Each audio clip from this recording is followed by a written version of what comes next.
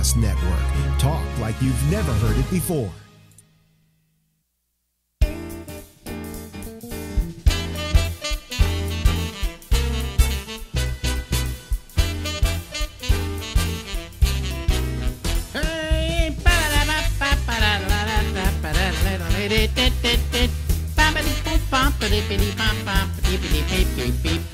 Hello, everybody.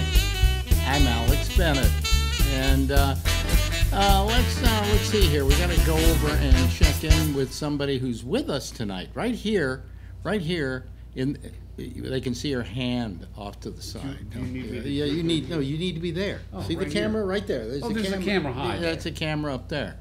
Okay. good to be with Uh, you Let me see here. Let me go to the. Uh, I got to go to the, The other camera camera. B. There we go. Camera there he B. is, ladies and gentlemen. Do you recognize him? No. Please don't stand.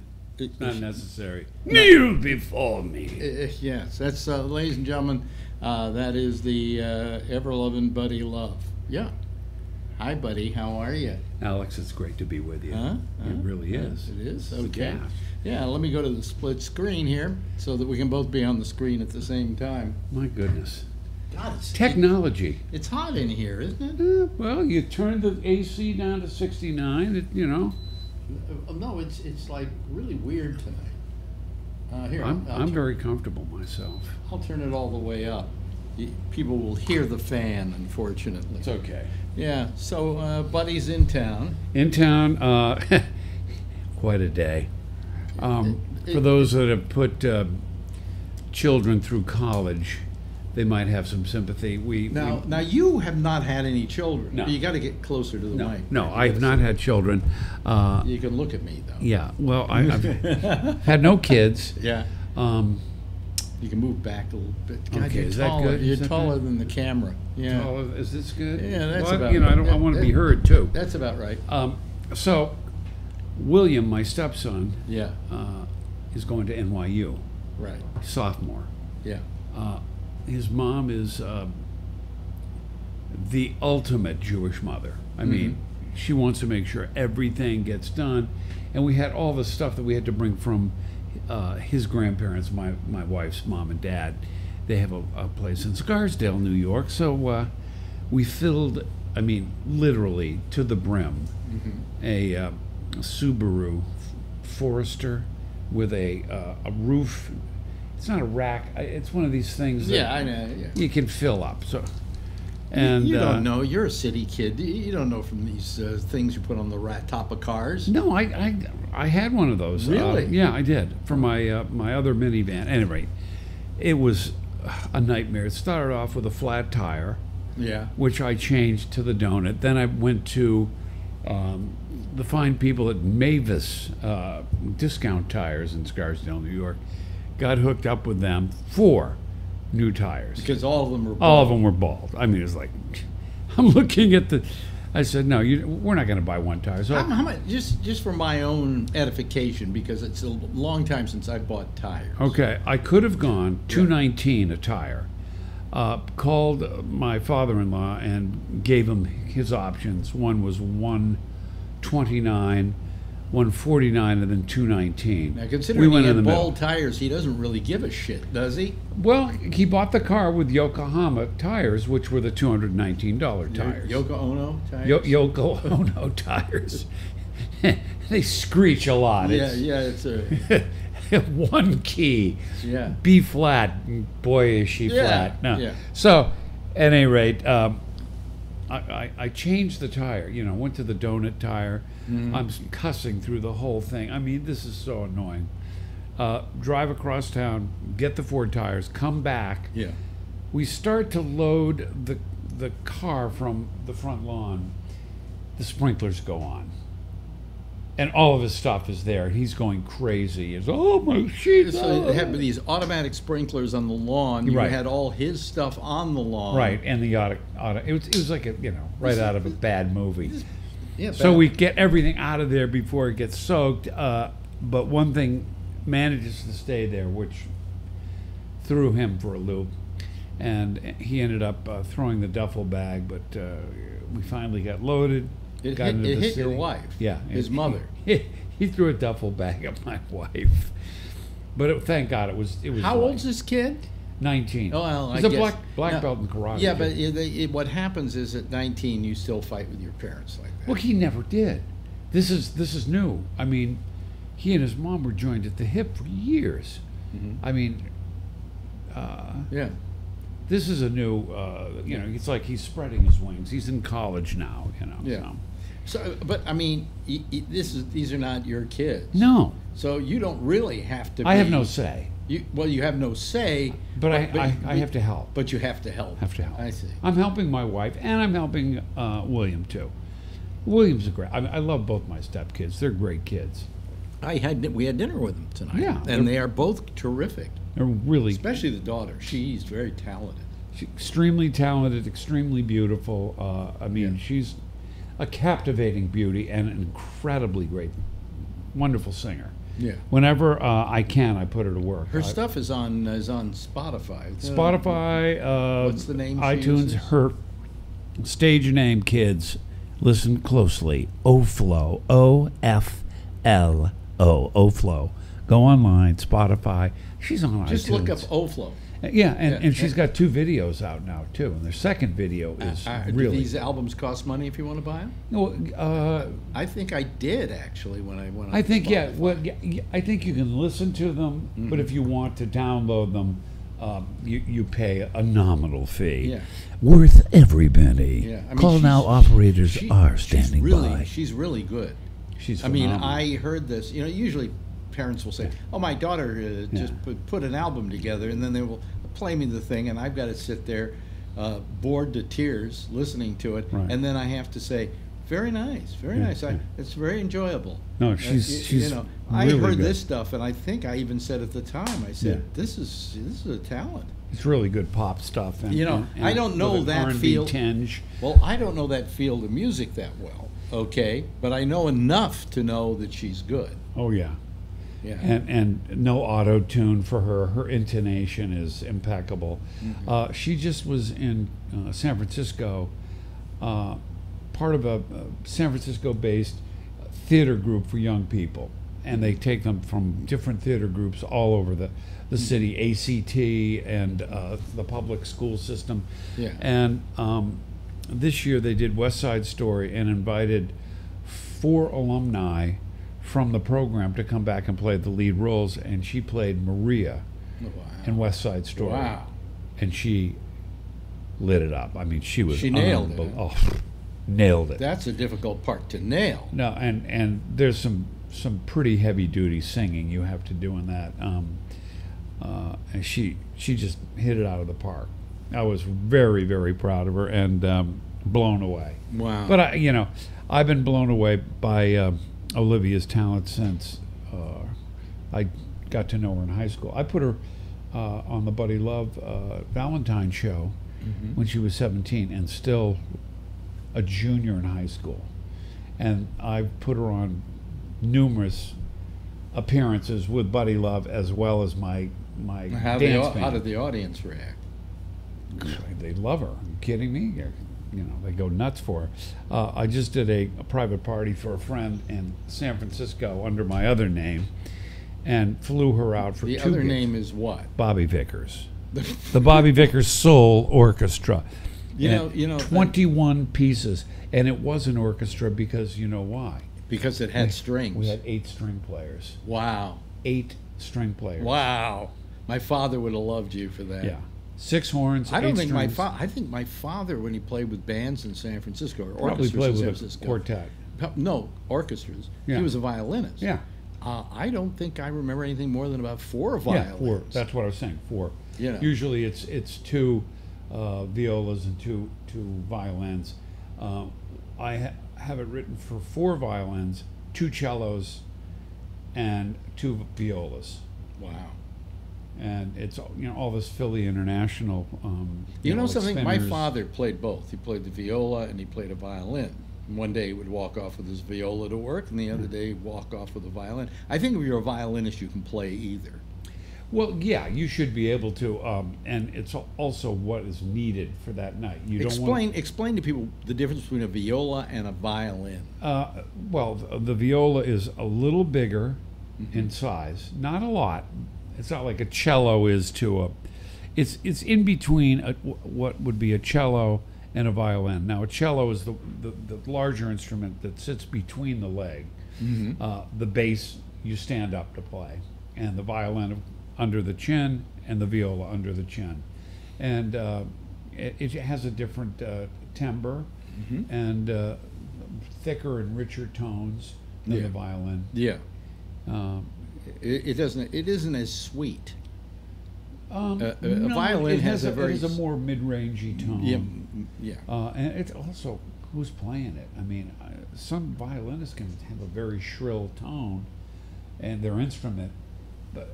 I've I've seen people pick up violins, and one person was playing it, and it sounded way different than the other person.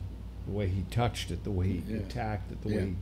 My bowed. father, my father, didn't start playing the violin, if I'm not mistaken, until he was 21, Wow. and he became a professional musician. Wow, that's- playing the violin. You know, and Did he play? He must have played piano or No, something. No, no.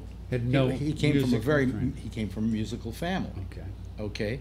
But I think, if I remember correctly, he said he didn't really start playing the violin till 21, and he said he's sorry that he did because really his parents should have started him at like 13, so he would get oh. the fingering and Oh. Even everything. earlier. But the fact that he was able to read music, you know, you throw a chart in front of him, and play it, you know, uh, and that's very he had difficult. the aptitude to pick up an instrument and, and play it and read music. That's the hard thing. yeah, yeah. Um, I never learned how to read because of my Yeah, dyslexia. well, he read music, and he he Real learned the violin, and he do. was he was a professional violinist. You know, I mean, an orchestra would come to town. Sinatra would come to town. He'd have his main musicians, Right. and then he would need to fill out the band. And my fill out. father would like play with Sinatra. Oh, you know, when- when- and then next week they needed somebody at the Curran Theater because they were doing a, a Broadway, Broadway show, show, yeah. and they would he would go, go do that.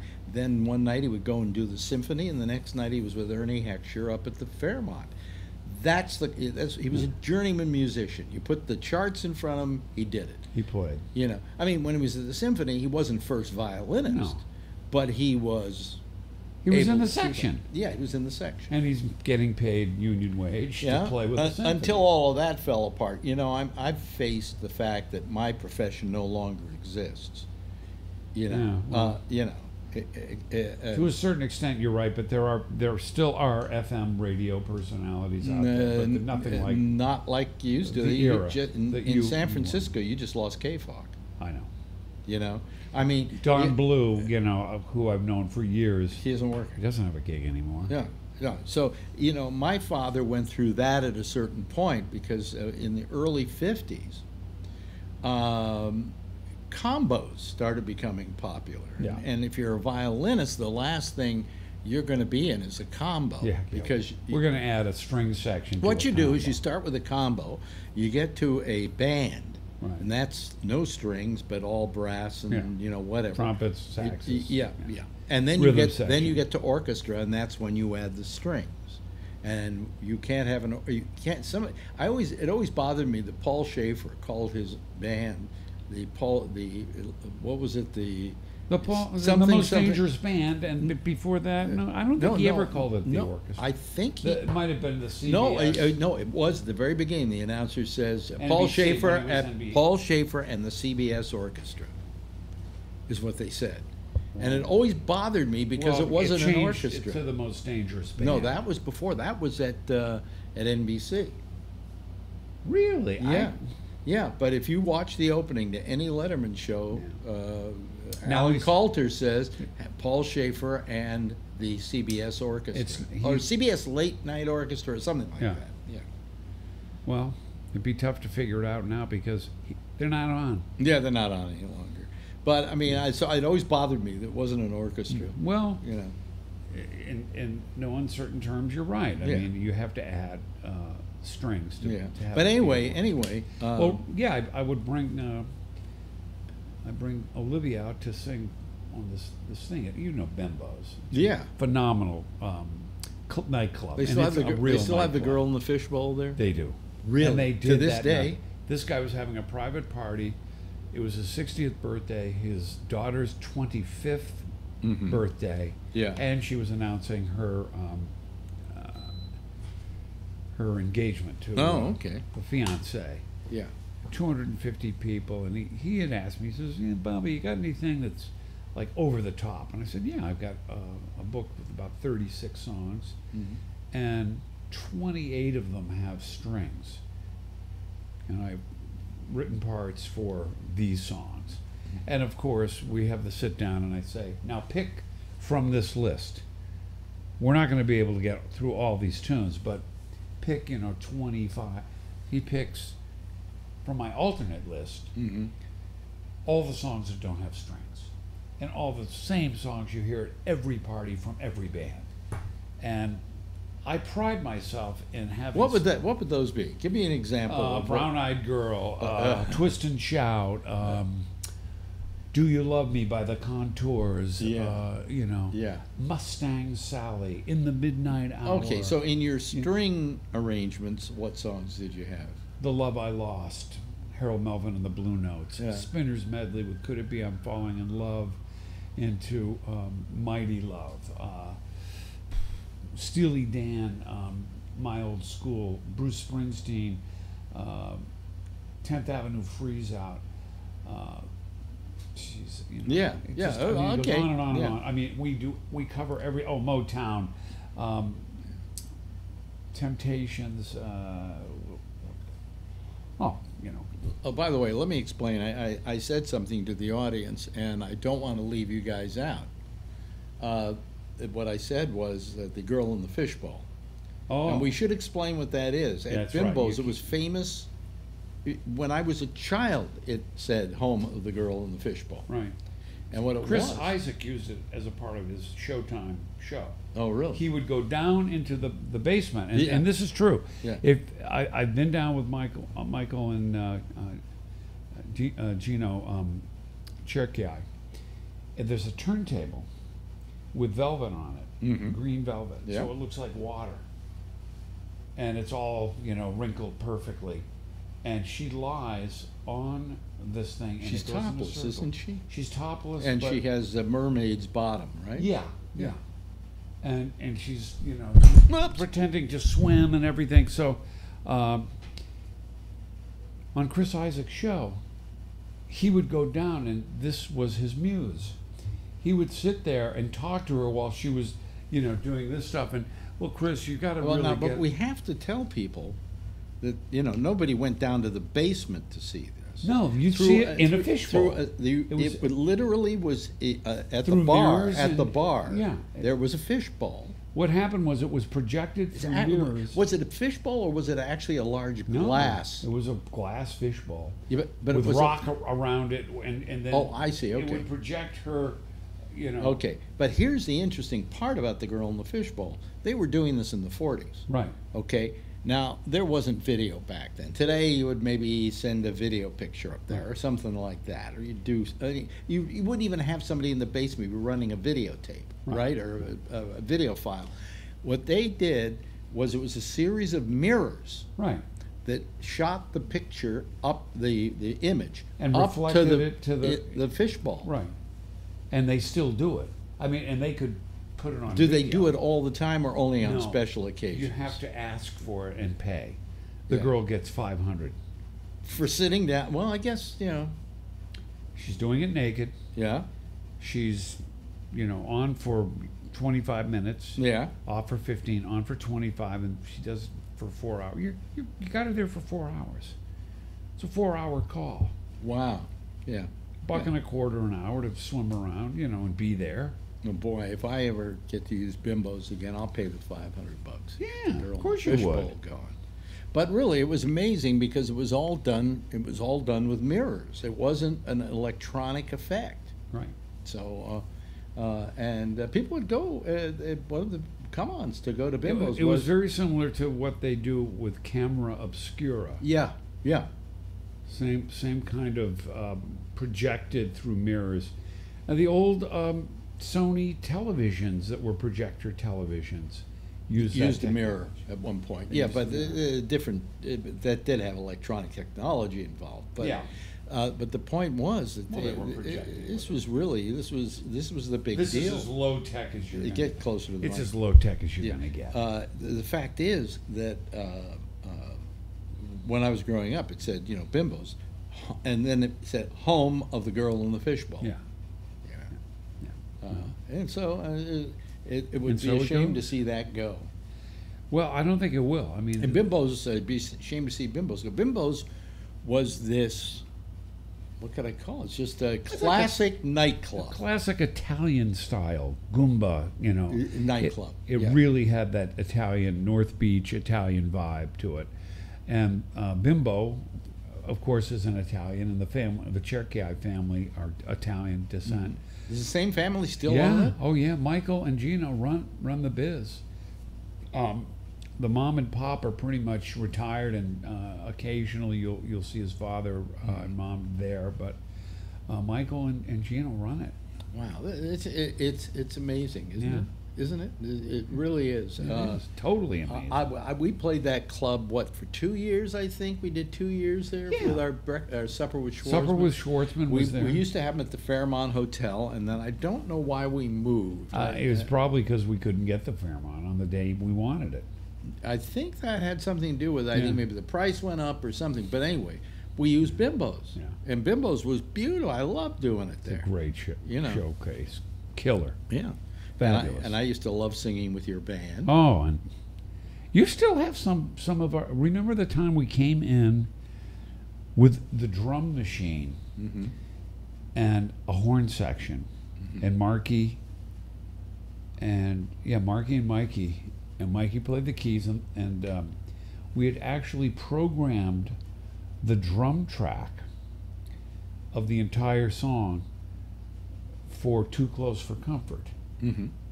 and we recorded it. I, you have it somewhere. I have it here, and I could play it right now. Except that uh, I run take into you 20 No, minutes I run find. into problems with uh, YouTube and with uh, Facebook in playing music I don't have the rights to. Oh, please. Yeah, yeah. I mean, I could play it, and probably on YouTube I'd get away with it, but I just w- wouldn't. I, would lose my ability to run any commercials on this program, which I don't care. Yeah. And they would then be able to run an ad beforehand to pay off the composer or the publisher, right? Yeah. Well. But but but you, but Facebook would just not even run it. well, um, the guy who wrote "Too Close for Comfort's dead. But that doesn't matter. I think it's in the it's in the uh, It's publishing. Public It's domain. pu- no, it's not. No, absolutely nothing's Too, in public. Too Close domain. for Comfort was written for Golden Boy. Yes, but it's not. th- i- There's no such thing as public domain practically anymore. Um, uh, public domain, folks, was a, a system in which, after I think it was 13 years, you could copyright, and then you could renew it for another 13, and then it fell into public domain.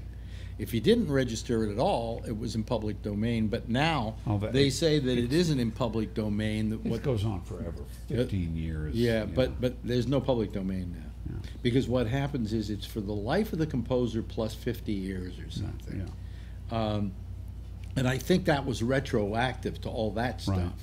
You know, so Well, it's- anyway, anyway, they would they would if I looked it up, they would tell me whether I could play it or not, and what I would have to, you know, would I have to do it where they could ASCAP run or commercial. BMI, you know. Yeah, it, it just goes on and on. It's it's a pain in the ass because I'm used to I was used to all my life just playing picking up playing anything I wanted to because radio stations had the rights to all that shit. Right. And they- And and then I would also do it on the internet and nobody would ever slap my hands for it, Yeah. you know. So, but I do have your recording of Yeah. Too Close for Comfort here. Yeah, I could fair. play it at this moment and I won't dare do it. Okay, I hate that. You know. It really hurts me. It and would. I can't nor will I hide I- my pain. Well, I would love to try it and see what happens because it, it's a different version. Obviously, you're using the Marty Paich arrangement Marty Paich arrangement. Um, of Sammy "Too Close Davis. for Comfort." Now, I, let me let me tell you something about that.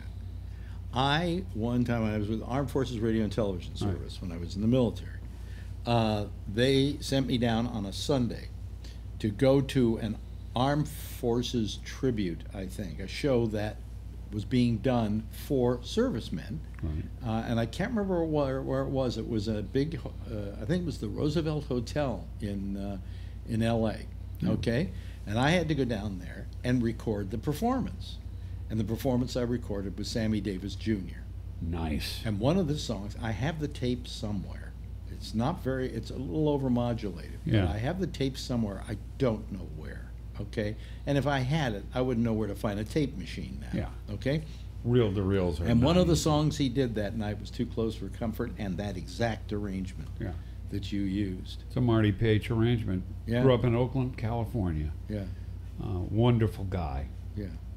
Yeah. I was very lucky to, you know, chat with him Yeah. um, when they released, or I should say, re-released in a compilation all of the the Marty Paich arrangements that he did with Sammy Davis. That interestingly enough were on three different records, Mm. and they'd be with different arrangers, and all of a sudden you'd have a Marty Paich tune. That's funny because, uh, uh, like Sinatra, an album would be Nelson Riddle and Frank Sinatra. Mm, yeah. It would be Billy May and Frank Sinatra. Uh, by the way, I prefer Billy May and Nelson Riddle for Frank Sinatra. Well, I, I, I, they all have their attributes. Um, you know, uh, Gordon Jenkins was an yeah, amazing yeah, yeah. arranger, but Marty had Nobody knows what we're talking about. Marty there. Paich is, was a, an arranger who worked on the Sonny and Cher show. Mm-hmm. Uh, he arranged for Mel Torme, Sarah Vaughan, Ray Charles, uh, Sammy Davis Jr. I mean, he was a heavyweight, but he worked with dectets. In other words, six horns, bass, drums, guitar, and a, a piano player. Uh, and interestingly enough, he used tuba a lot. I love the tuba. That's what I loved about Billy May. Billy May always used the tuba. he would use well, Marty in his arrangements would use French horn, tuba, you know, different voicings that you can't get with a trumpet or a cornet. I mean, a French horn plays in a certain range, and and gives off a certain tonality Yeah. in a section where you would not, you know, where you normally hear a trumpet, you hear a French horn. Um, In fact, and if you want you hear a tuba playing the bass line, a boom, boom, boom, boom, boom, boom, they're playing it on a tuba. Any anytime you hear Frank Sinatra arrangement and you hear a tuba in the arrangement, that's Billy May. Most likely. Yeah. Billy May was very playful, you know. He had fun with music. He did. so- Uh, and I love his work with Sinatra. Just to me, it's the best, you know. But anyway, look, uh, it's time for me to go talk to people. Uh, and uh, uh, what, you what, what you probably should do is maybe come over here, okay? And we will. Uh, uh, uh, let me let me move a little bit here, and let me move the microphone so that it picks up both of us. And uh, let me see here. Let me open. Oh, I gotta I gotta go to Skype. Open up Skype. oh yeah. See, I have to do all these We things. can't see anybody unless we Skype. Who's on tonight with us? Huh? We don't know yet. Oh, okay. We don't know. It's always a mystery as to who's going to call next. Okay? Uh, it could. Yeah, it could be you, Is folks. it one of those? Let me. Do uh, we hear that kind of noise when it, No, somebody? uh, you, will hear some noise, yes, uh, uh, when somebody calls, but we have to wait for them to call. Um, so this Buddy Love, he's just going to sit here and if anytime you want to go to sleep, you're welcome to. You know, I'm not uh, too jet lagged. the hotel room is right next door. Uh, oh, here's a guy who doesn't call that often, but we're lucky to have him tonight. Oh, yes. Yeah, uh, I, I think I uh, recognize Let this me, guy. uh, let me uh, a- a- get him. I've got to add him to the group, but let me see here. First, I got to get to, I got to start putting these people up here. Hold on a second, folks. oh, I know this guy over Okay. here. How are you? Hey, Okay, Just uh, fine, minute. Oh, thanks. hold on a second. Nice interview. Let me see here. Vernon Nunn. Uh, let's see here. There's Vernon. Okay. And uh, now, okay. They're- uh, they're checking is it- in. wait a minute, Vernon. There you go. Now let me go get Phil on here. He would be uh, scuba diver. There we go. Really? Yeah, we put him in there. See, I mean, I have to do all this shit. Can you believe this? Hey, I mean, you know, there are no kids to do it for me. Uh, let me see here. And who's, uh, there's Charlie Wallace. Okay. And now I got to go over to the other thing that we've got here. Uh, hold on a second. I got to go to the other uh, uh, thing we got, which will go. Uh, let's see, number four. We put in Josh Wheeler. Uh, let me see here. Where's Josh? Uh, uh, hold on a second. I got Well, it. here- Oh, there there we go. Yeah. I just can't see. That's all. I'm blind as a bat lately. Now, let me see here. Okay, there we go. There we go. There we go. Okay. We all up and running? Okay. See, we got them all. We got we got them all there. Hello there, gentlemen. Hi. Good evening. I guess I need to put on my headphones. Yeah, you probably should put on your guys- headphones for this. Hi, Yeah. guys. Yeah. Yeah. So he can hear you. There we go. Yeah. Hello. How how are you all? Hey, we, I'm just fine.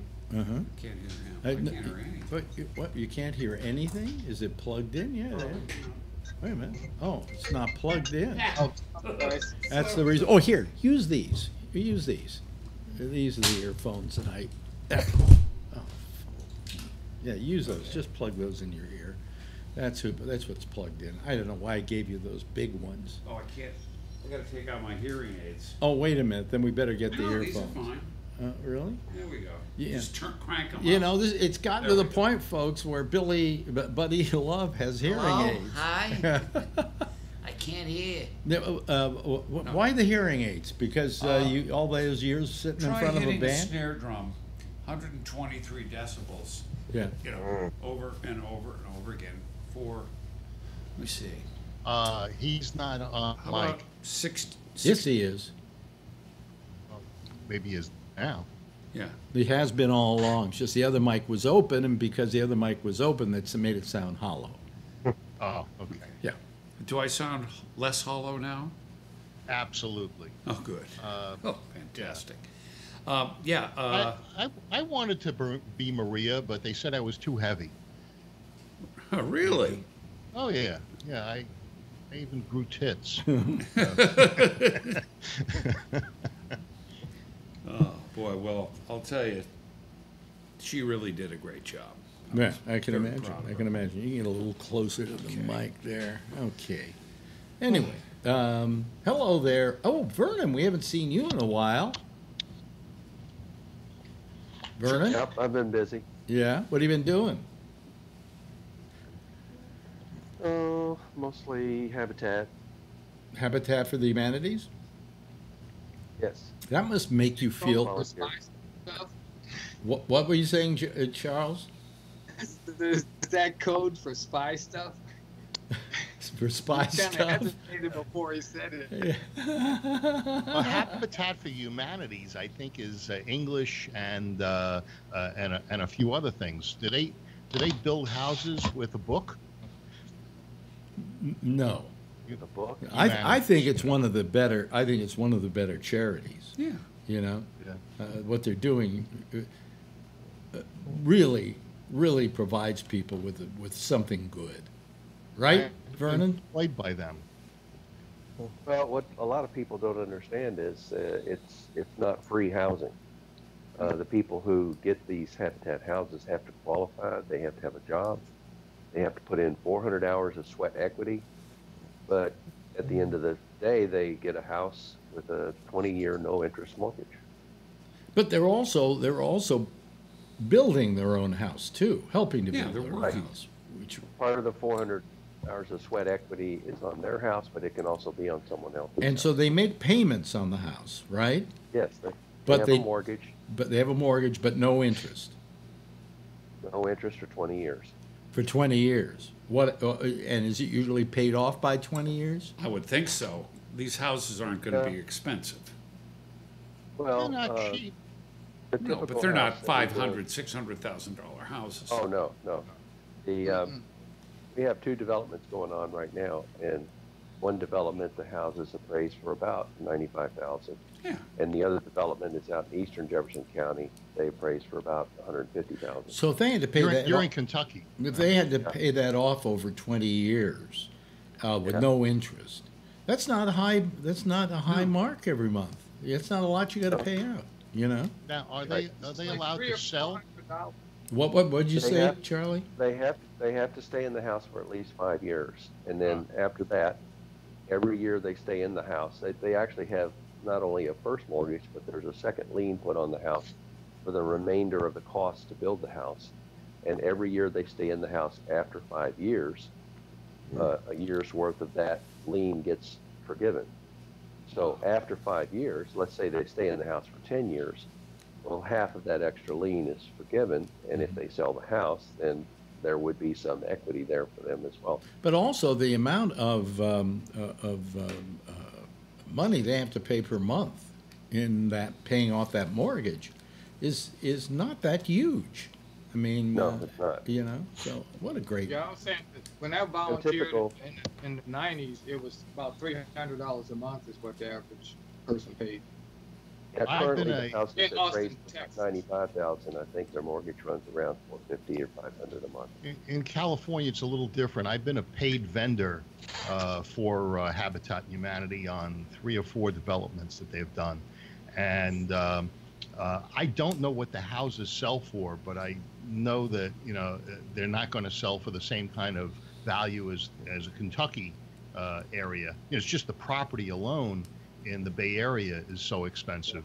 Uh, and you know the houses are nice houses, and you know they're finished nicely.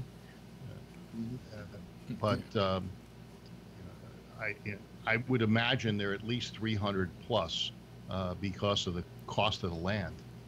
yeah. Mhm. You know, it'd be But more, 300 exp- be yeah. more expensive if you did in the Bay Area. I doubt if you'd be able to do it in San Francisco. No, not in San Francisco proper unless uh, it's Port Authority land that was given to the developer yeah, uh, yeah. at a you know a, a, real low lease back over a 50 year right. period or right. something crazy. Well, the uh, development I was talking about where the houses are going raising for about 95,000. The uh, development was started by another developer back in eh, I want to say the early 2000s, and he ended up going bankrupt in 2008 and oh, there was only about four or five houses built on that street when he went bankrupt. Mm-hmm. Well, Habitat for Humanities ended up acquiring the rest of the property, and they're building houses on that now. There you go. Wow, good. that's good. What a what a great idea. What a terrific and, idea. And Jimmy Carter, you would find hammering nails.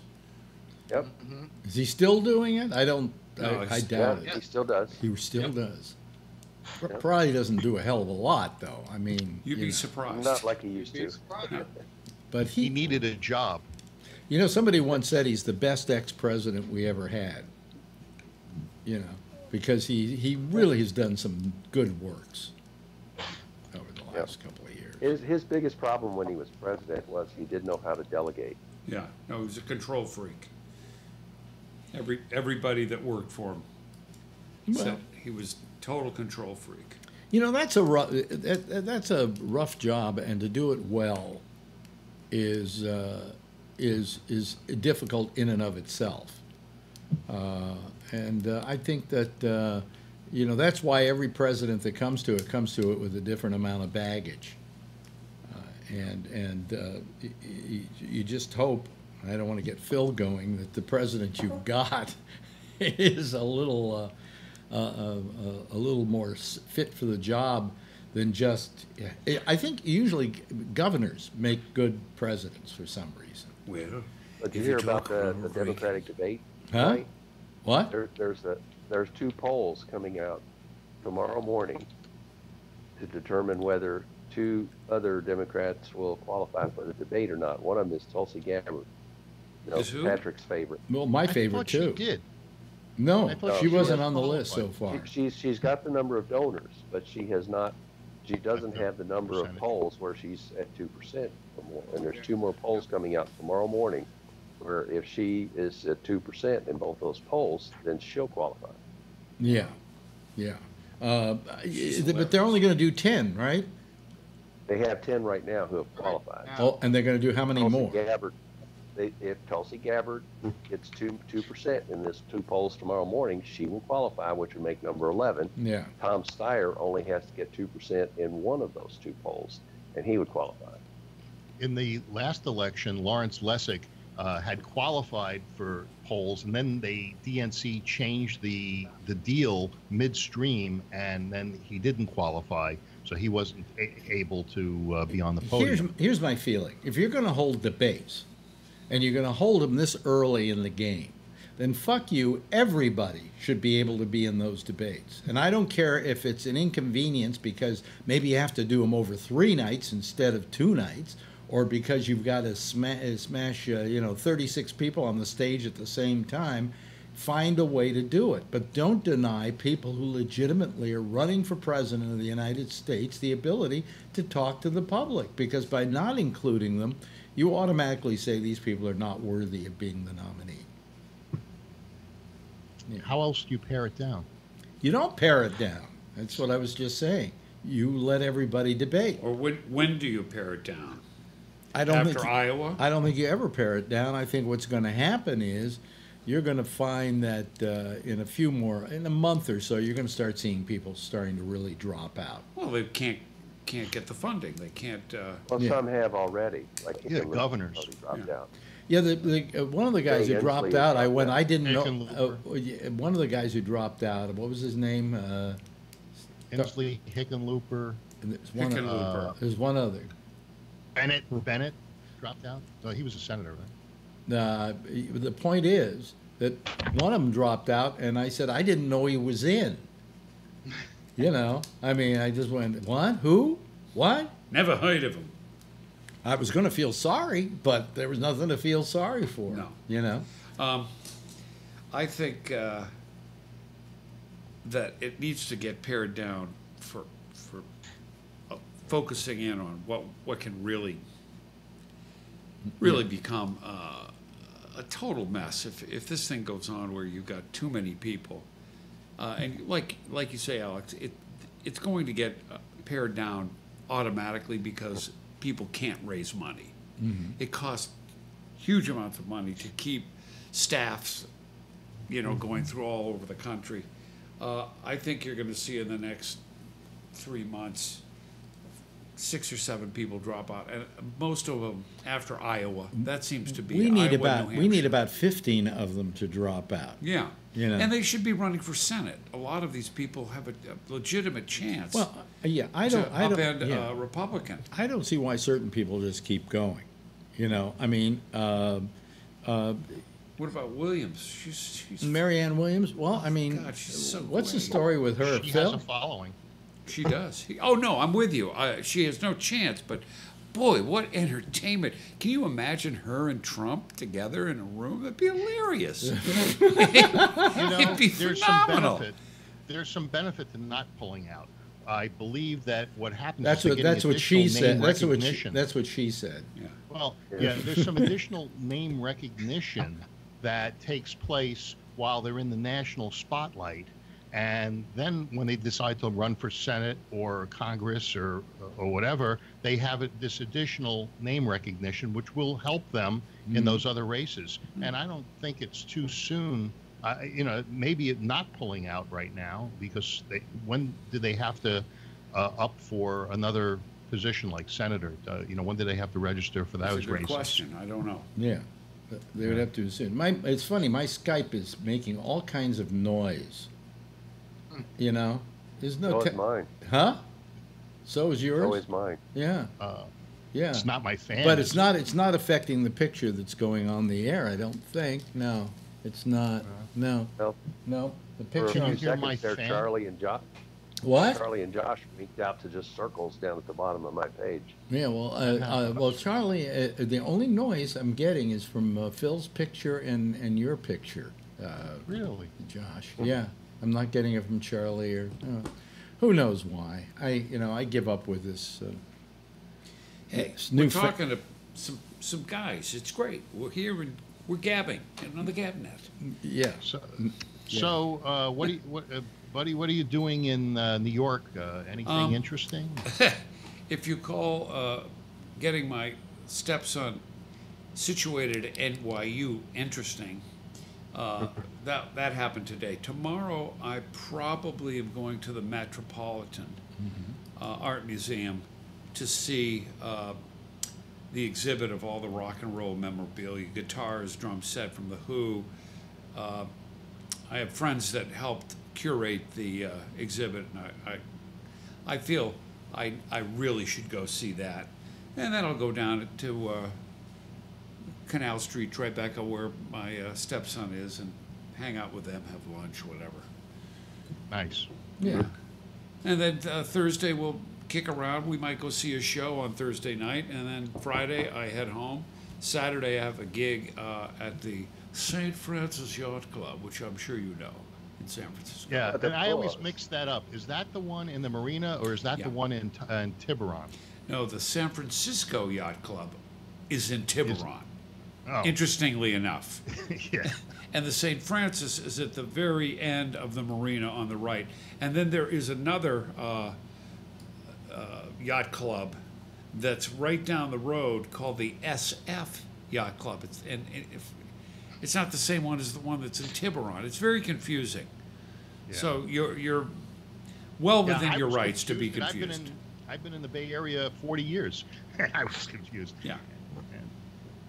Well, I've never seen all, all the static before in my Skype picture, Really? but it's not going into my on no, air picture. the on air is clear as a bell. Yeah. Let me, let me call in again. Uh, no, because uh, everybody is is getting. It's on everybody's. What it would have to be is I would have to probably sign off Skype and re-sign in. Do you guys want to do that and call me right back? If you think it'll make your experience better. Well, uh, let's let's uh, let's see. I'll quit Skype and uh, then I will open it up again. And uh, so as we quit it, there we go. We've quit Skype. Why do we quit? I like Skype. Yeah. But now let's see if they He's call. and- rebooting it. I, if they call and uh, they recall, uh, they will just start coming up here. So, anyway, okay, everybody, you can start calling again. Okay, okay. There's Charlie. I do that. Charlie will suddenly come to life, and then I do Vernon Nunn, and I'm he will come to life. Yeah, you're back. Uh, let me see here, and we got to wait for two other people. Uh, there we go. There comes Phil Meyer and uh, Josh Wheeler. We need you, Josh. So call us. There we go. Oh, there's Jeff Stein. Oh well. Oh, wait a minute. Hold on a second. I'll get Jeff Stein in here in a second. But first, we got to get Josh Wheeler. Uh, call us, will you? Uh, so we can. Um, well, Josh isn't going to call. I need uh, him so that I can have his square taken care of. Uh, Jeff, turn on your uh, turn on your camera, will you? Okay. Yeah, it's going to turn it on. Let me see here. Josh, where are you? Are, are you going to call back? Yeah, we don't have that static now, by the way. Yeah. Good. Uh, oh, here we go. Here's Josh Wheeler. Okay, so I do, I do Josh. Okay, and Josh is uh, now uh, there. Okay, and then we go down here and we put in Jeff Stein. Come on, Jeff Stein. Uh, there we go. Okay, all right, and he should pop into view shortly. Where are you, Jeff? Come on.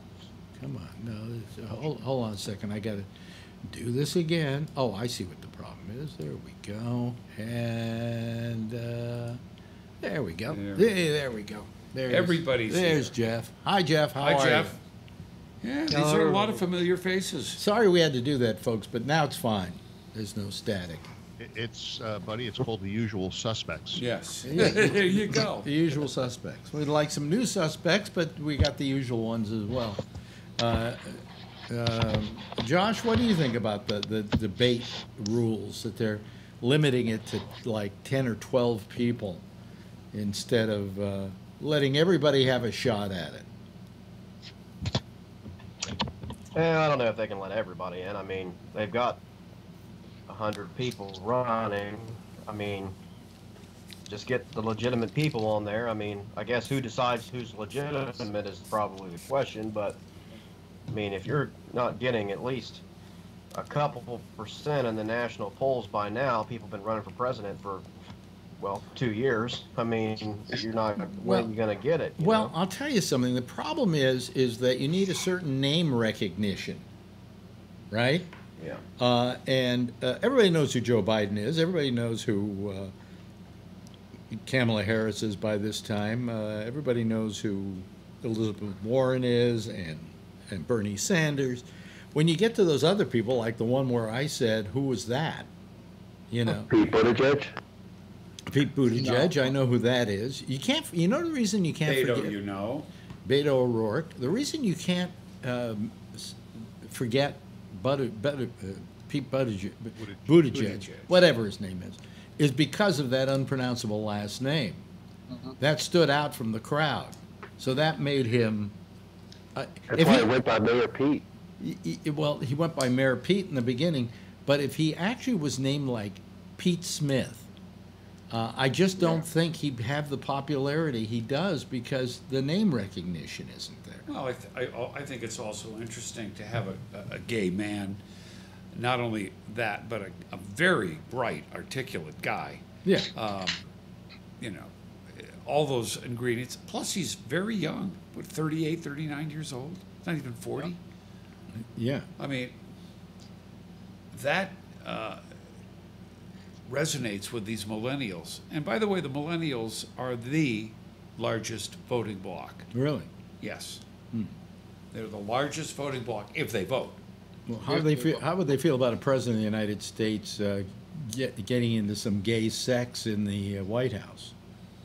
It's the millennials. I don't give it. I don't Do the think millennials care about that? No, Okay. No. no. All right. Well, so They don't. What What do you think, Phil? I mean, do you think that Buttigieg has a deficit by being gay, or do you think it's a positive, or do you think it's it's just a non-starter? In some parts of the country, I think it could be a deficit, and in some parts of the country, it could be a plus. What parts you know? the? let's, yeah, and what? Uh, I guess the South. uh, yeah, the, and the middle, you know, the, the middle area. Uh, I think where uh, it's a positive is Massachusetts, New York, California, and uh, you know, you get into the uh, the Midwest. Uh, there, there may be some issues with that. In the South, too. Yeah, in the South. what about What about Ohio? Ohio is always the one Uh, they talk about. Well, Josh uh, is from Ohio. He might have a better uh, take on that. Josh, I think being gay would hurt him more than it would help in Ohio. really? Yeah. I mean, Ohio is not thought of, I don't think, as typically as a stronghold of Christianity as some other states are, but I'm I'm telling you that it is. hmm I mean, Ohio has like three major cities, and outside of that, it's it can be outside of the three major cities. There are a few others that are pretty decent size that are kind of a mix, but outside the three major cities, a lot of Ohio is pretty rural. I mean, very rural. Okay, but, but let me ask you this: uh, Buttigieg is also a very religious guy. Goes to church every. I mean, he's really religious, uh, and and has a very solid religious um, footing. So how would that play with the people in Ohio? Are they going to say, "Well, how can he be a Well- Christian if he's blowing somebody?" I mean, what? Yes. Yeah, I, I mean, around here in, in similar areas, I mean, I'm not saying that I agree, but, but I'm just saying, yes, he's not going to be seen as uh, conforming to their brand of Christianity.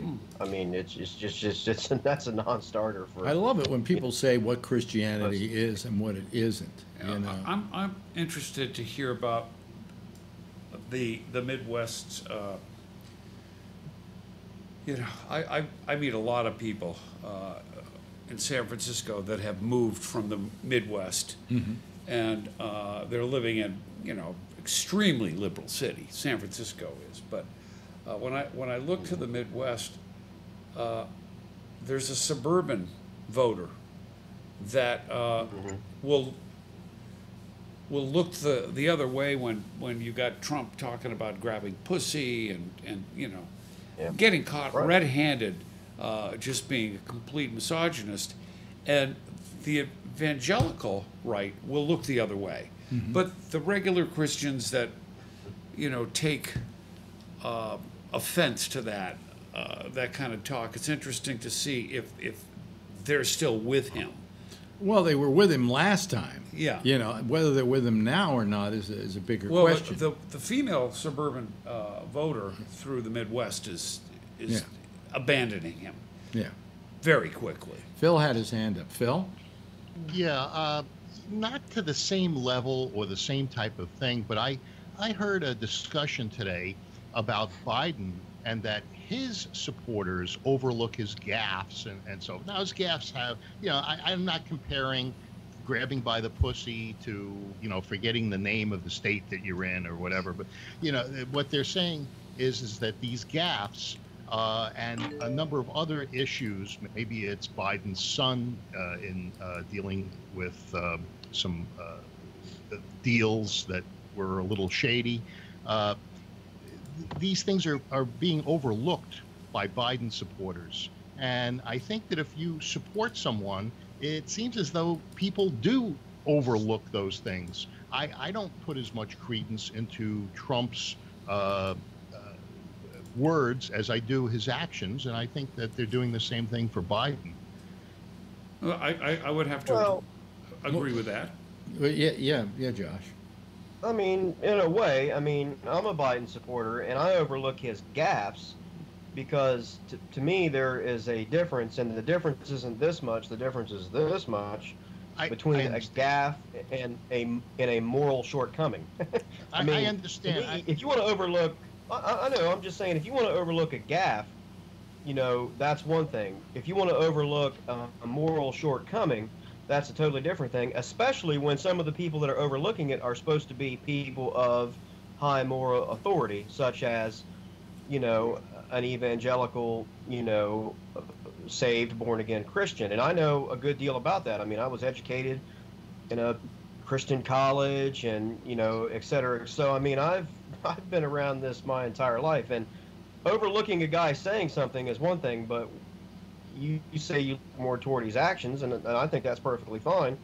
And that's to me, that's where I start having the problem with it. I mean, there was a, I saw an interview somewhere, like a clip on YouTube from that C-SPAN put out. They were interviewing the guy. I don't even know who he was, and he had written a book, and the name of the book I don't even remember, but like the subtitle was like, "Why do evangelicals sell out their religion in the name of political power?" You know, something along those lines. And I think that's the question a lot of people have been asking. Why is power that important to them? I mean, Oh yeah. you know, It is to Apparently. all. Apparently. Apparently. right? Yeah. Hey, uh, have any of you seen Elizabeth Warren and uh, and Bernie Sanders on the same stage together? No. No, I have not. I, I really think Bernie Sanders, when he's in drag, he's really Elizabeth Warren. and, uh, Uh, you know, that's the, you know, it's like Superman and Clark Kent. You never Yeah. see them together. yeah. You know, They did the same person. By the way, Jeff, um, can you do something about moving your camera a little bit or your? Sure. Yeah, because the light in back of you is, i You don't every, like the every time you move, you either get darker or you get lighter. yeah. Uh, you need to GoFundMe to get Jeff some lighting. y- y- well, you know. All I use here is a light in back of me uh, and uh, uh, and a torch lamp over there. I'm well lit. That's fine. Tell you about- There we go. That look. At least that's not going to pulse back there. and forth. What do you use, I- Phil? Oh, I have- Phil. I Jeez. have that on one side and that on the other. You know, you don't need quartz lights anymore. no, they're LEDs. Oh, those are LEDs? Yeah. Oh, Quartz would be 900 too LEDs in each one. yeah. Well, With you, barn doors. for a guy who doesn't do any television, you really have a studio there. You know. He's well, I- lit. I, I, I did it for you. Oh, okay. Thank you. Thank you. Phil, you're well lit. I like Um, it. um, the um, you know the question is about uh, the thing with Bernie Sanders and Elizabeth Warren is they pretty much are cut from the same cloth. It's just that Bernie says I'm a socialist and Elizabeth Warren doesn't. Well, I don't think Elizabeth Warren is a socialist. Uh, uh, some of her programs are, are, you know, based in in that theoretic thinking of, of but she's she's not going to put us uh, in the same kind of uh, spending crazy that uh, that uh, Bernie uh, and, and and she's got a, a way better uh, Well, I mean, the question Positive is, what message. What i i a lot of people are saying that she she's uh, according to the latest poll, there are two polls. One has Biden in third place by just a small margin, but everybody's pretty much neck and neck, which means that we're getting to a close race here where it could be Warren, it could be Biden, it could be Bernie.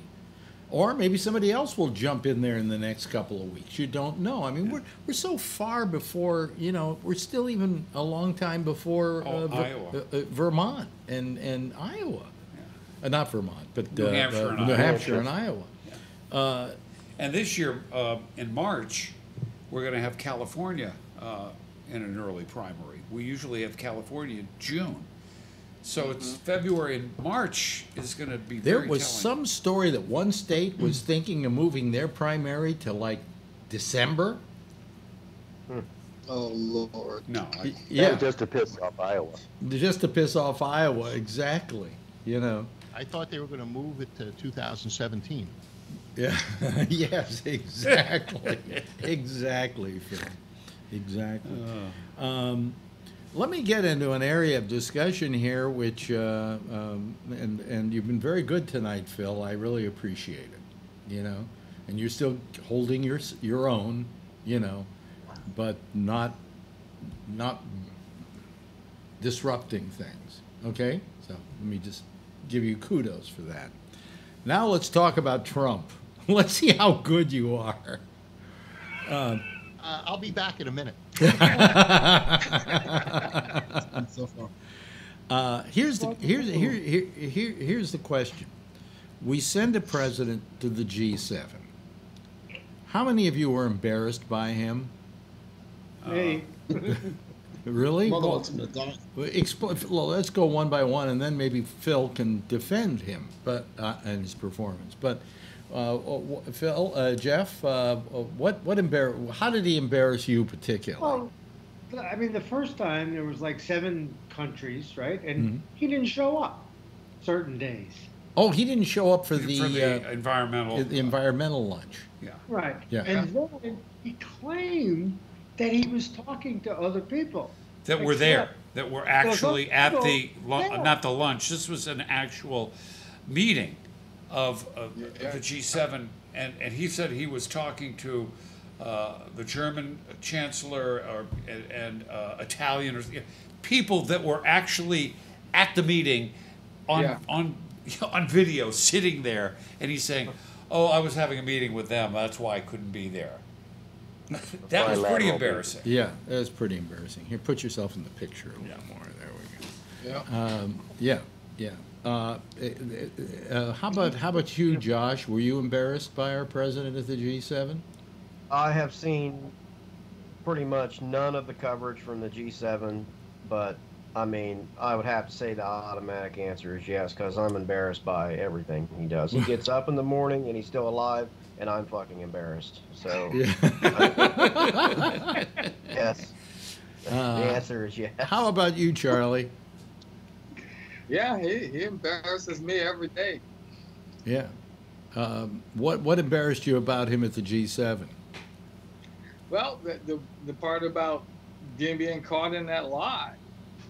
Oh, I couldn't be at the environmental meeting because I was talking to An- Angela Merkel and, and the British and the Indian Prime Minister, and they were all both at the meeting. it's like, Yeah. it's so gone. How about you, Tony? Did you watch any of it?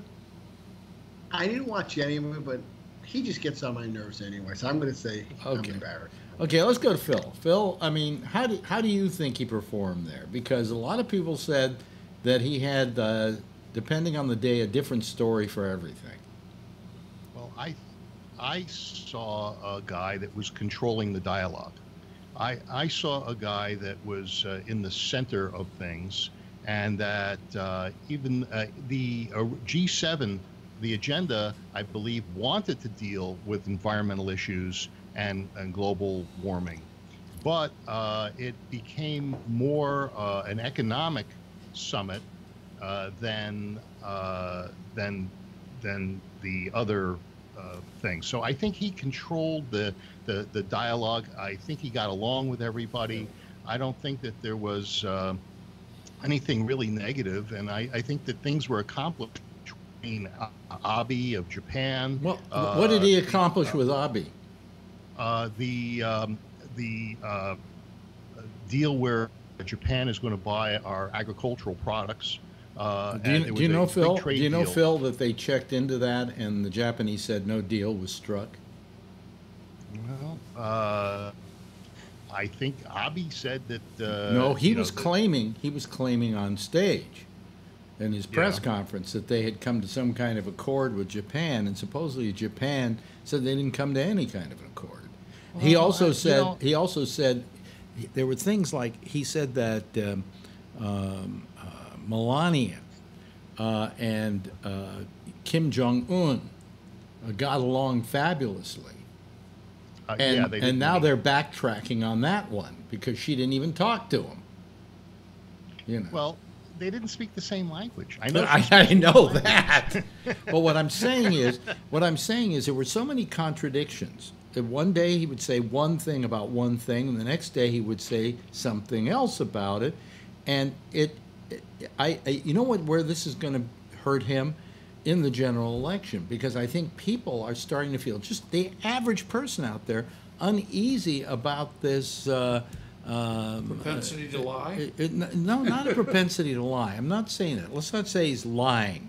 Let's say he, he's truth challenged, okay? And, and that people people feel He's a uncomfortable. liar. Feel people feel uncomfortable with a president who isn't consistent. Does that make sense, Phil? That'll- feel that way, and everybody else here feels that way, except his base, which I would be one of them. And uh, You don't I know- don't feel that You way. don't know that the base is holding up.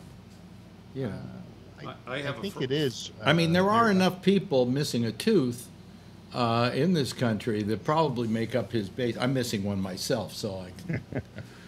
uh, but Um, what? his base is holding steady at, at about Yeah. 39 to 42 percent Yeah. uh, for and on any of, given of day. Republicans. If the economy starts to tank, Mm-hmm. uh, yeah, some of you guys are going to to uh, abandon ship, bail. Yeah.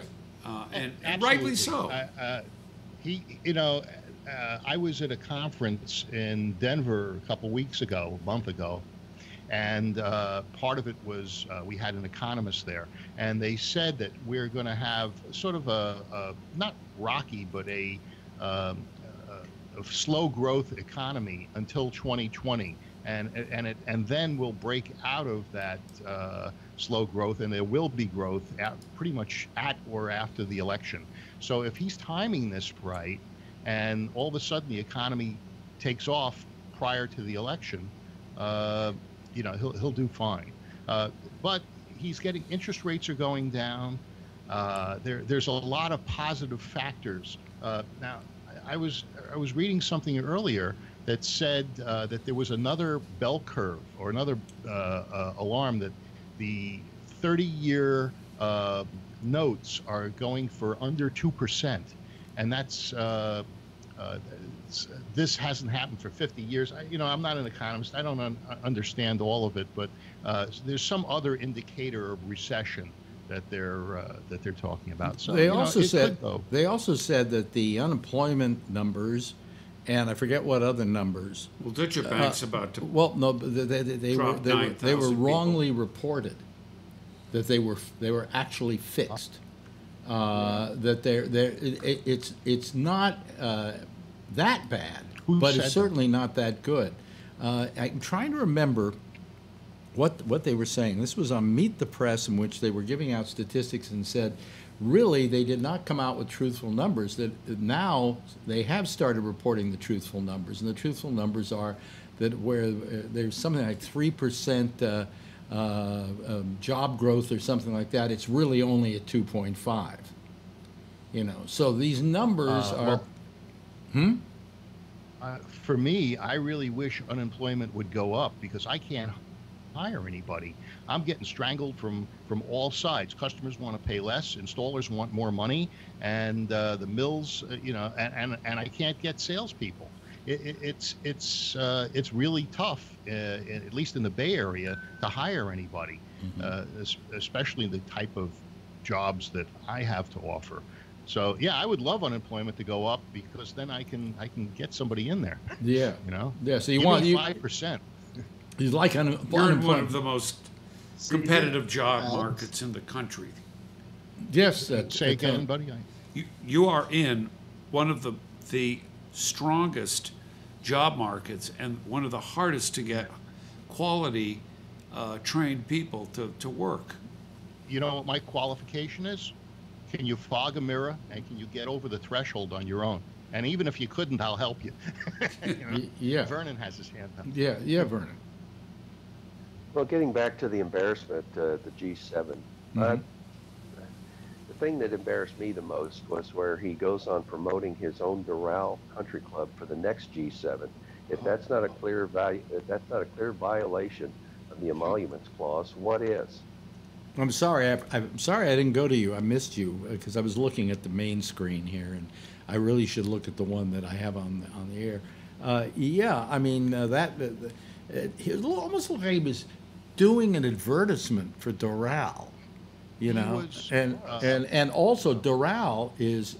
is- is- They're something like 60% down in income. They're doing very badly at Doral because it's being hit by the fact that people don't want to go and use Doral because it's owned by Trump.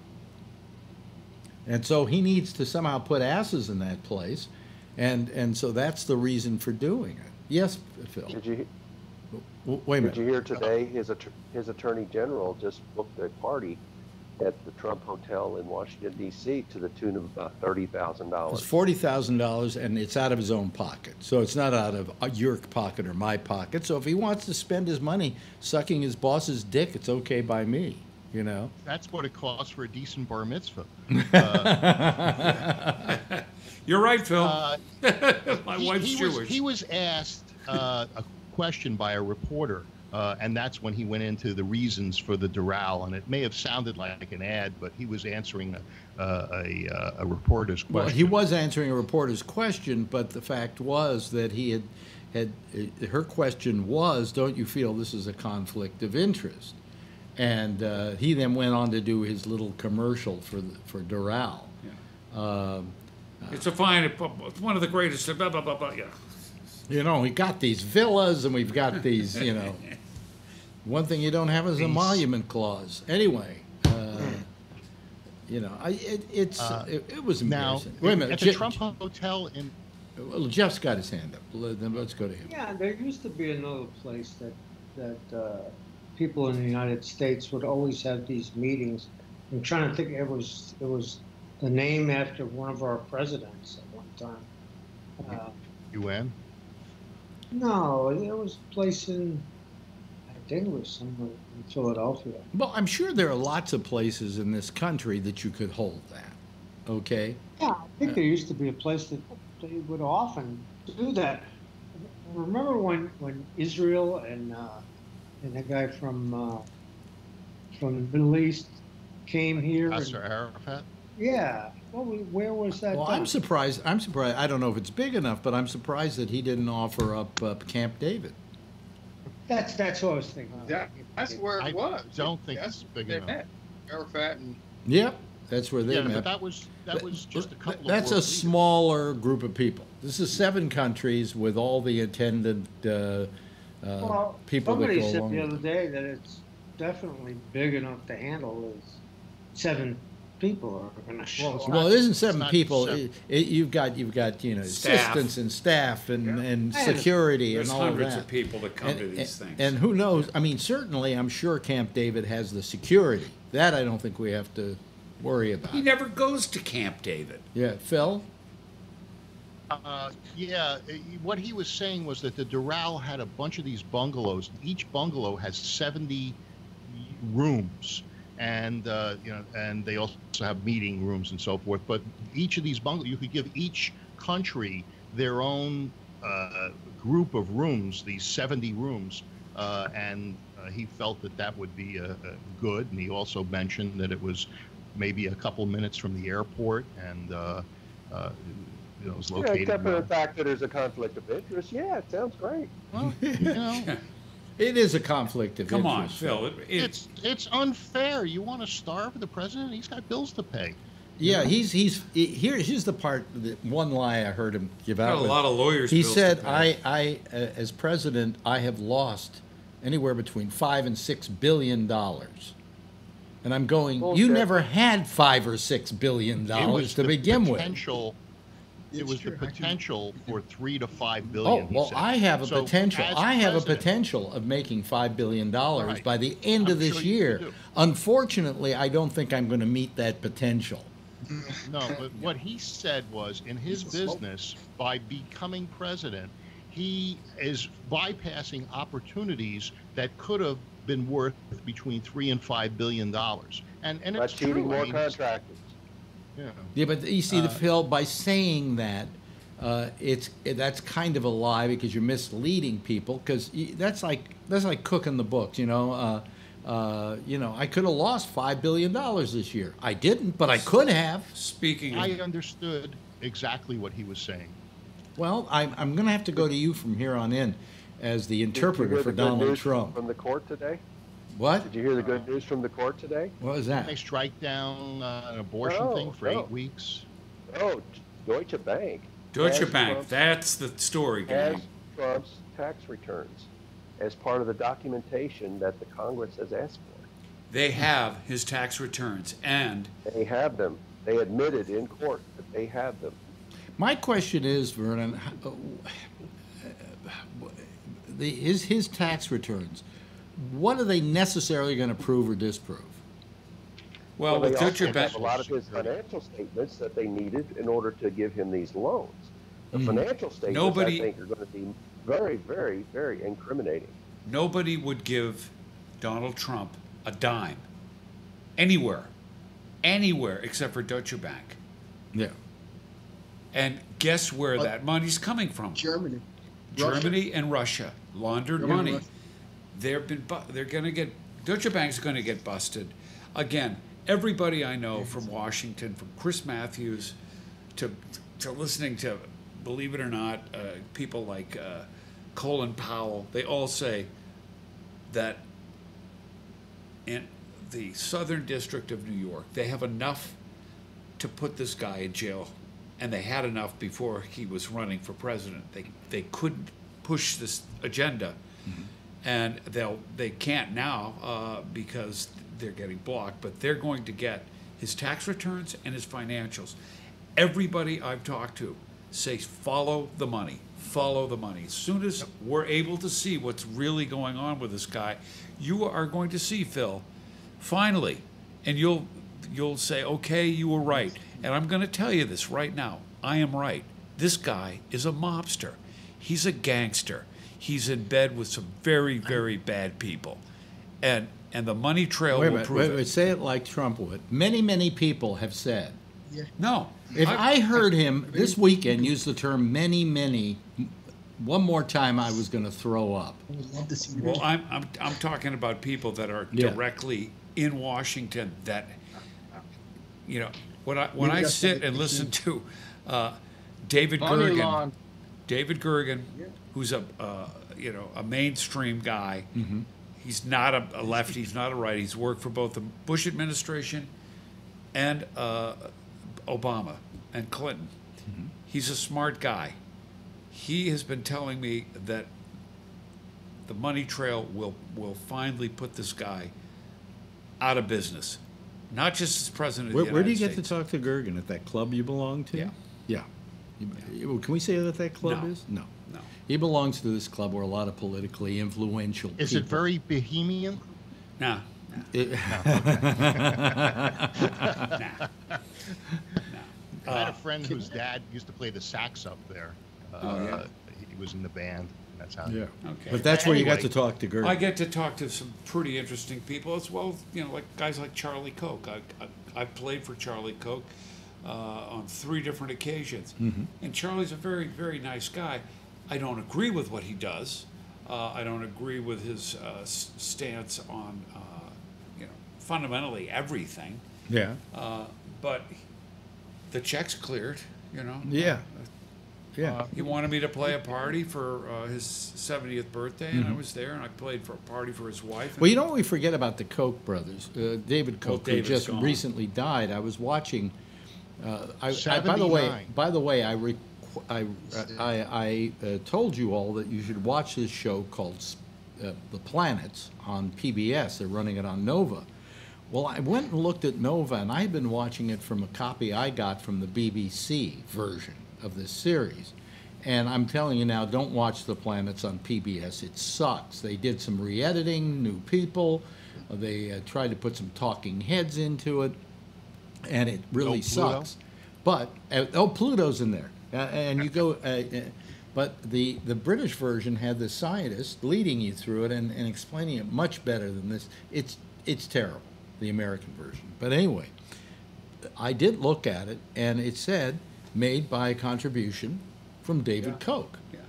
David Koch really, when it came to charitable contributions, Philanthropy. was huh go to the go to the was very Natural uh, wa- wa- History was, Museum. was very It's a whole good. Wing that What? that- at the Natural History Museum. Yeah. Here in New York City, there's an entire wing that he he, he built. Yeah. We hate them because of their political affiliations and, and the things that they have uh, bought into. But they also did, at least David Koch did, did some very good charitable contributions to the arts and to sciences and so on. Yes, Phil.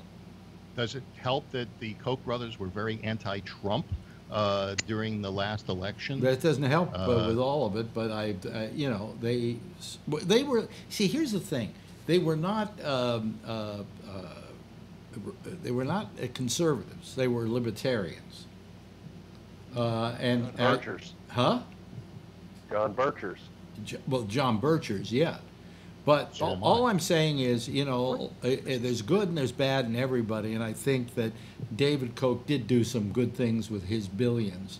Uh, And Charlie too. They're both I- in the service of people, but Both- you know, both that of them. you're out of the picture, by the way. Okay. Well, Just look right there. See, there you are. You know, you have plenty of room. You could move the camera a little bit closer to him and, no, I can't. not lose I, I can't. I can't move the. I can't move the camera. Oh.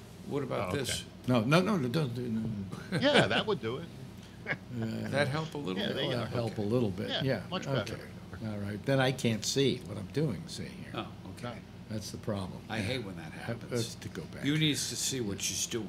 Yeah, I need to see the uh, uh, thing straight on. Well, I, like I say, uh, Yeah. to all my friends, and I have many friends, many, many friends. many, not many, Many, many, many friends. many, many, many mouse. No, I, I have quite a few people that I know.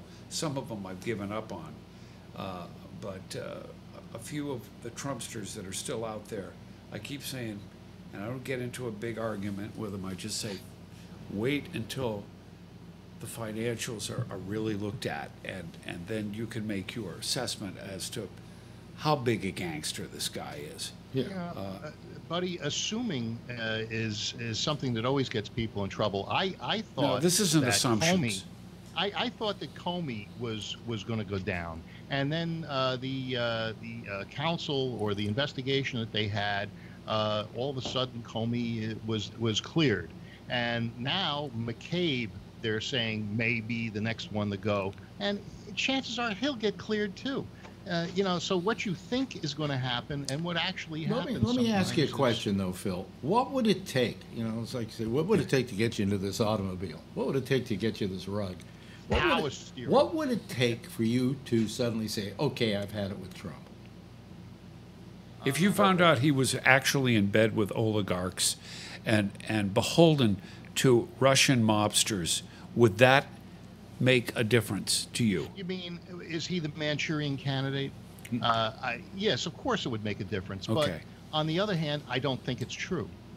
Then explain to me why, of all the, you know, we, we, if you look at the what he's said over the last couple of months, he's very inconsistent. One day he's for gun con, uh, for uh, background checks, the next day he's not for background checks. Uh, one day he's for this, next day he's for that. One day he's talking to China, in spite of the fact that China says we haven't said anything, we haven't talked to him at all. Uh, uh, but the one thing he's been consistent on, can I tell you? What do you think the one thing is he's been consistent about? Russia. Exactly. Russia. Exactly. Now, what's that all about? Why I- does he go out of his way in the service of, of Russia, a country that we know uh, uh, tried to rig our elections and and play, you know, uh, bug the internet and uh, is is basically an enemy of the United States. Why is he always defending him? Why is he always like trying to get him into the G7? What do they have on him that makes him this way? Money. You want my answer? Well, uh, uh, yeah, Jeff had his hand up, and then I'll go to you, Phil. I, I think it has to do with money, and I think that they're controlling a lot of this money that's going through uh, Germany and, And uh, Deutsche Bank. where- That's right, and, and that's where Trump's money is going. It's coming from Deutsche Okay. Bank. They've been lending him huge amounts of money, and it's laundered money through Russia.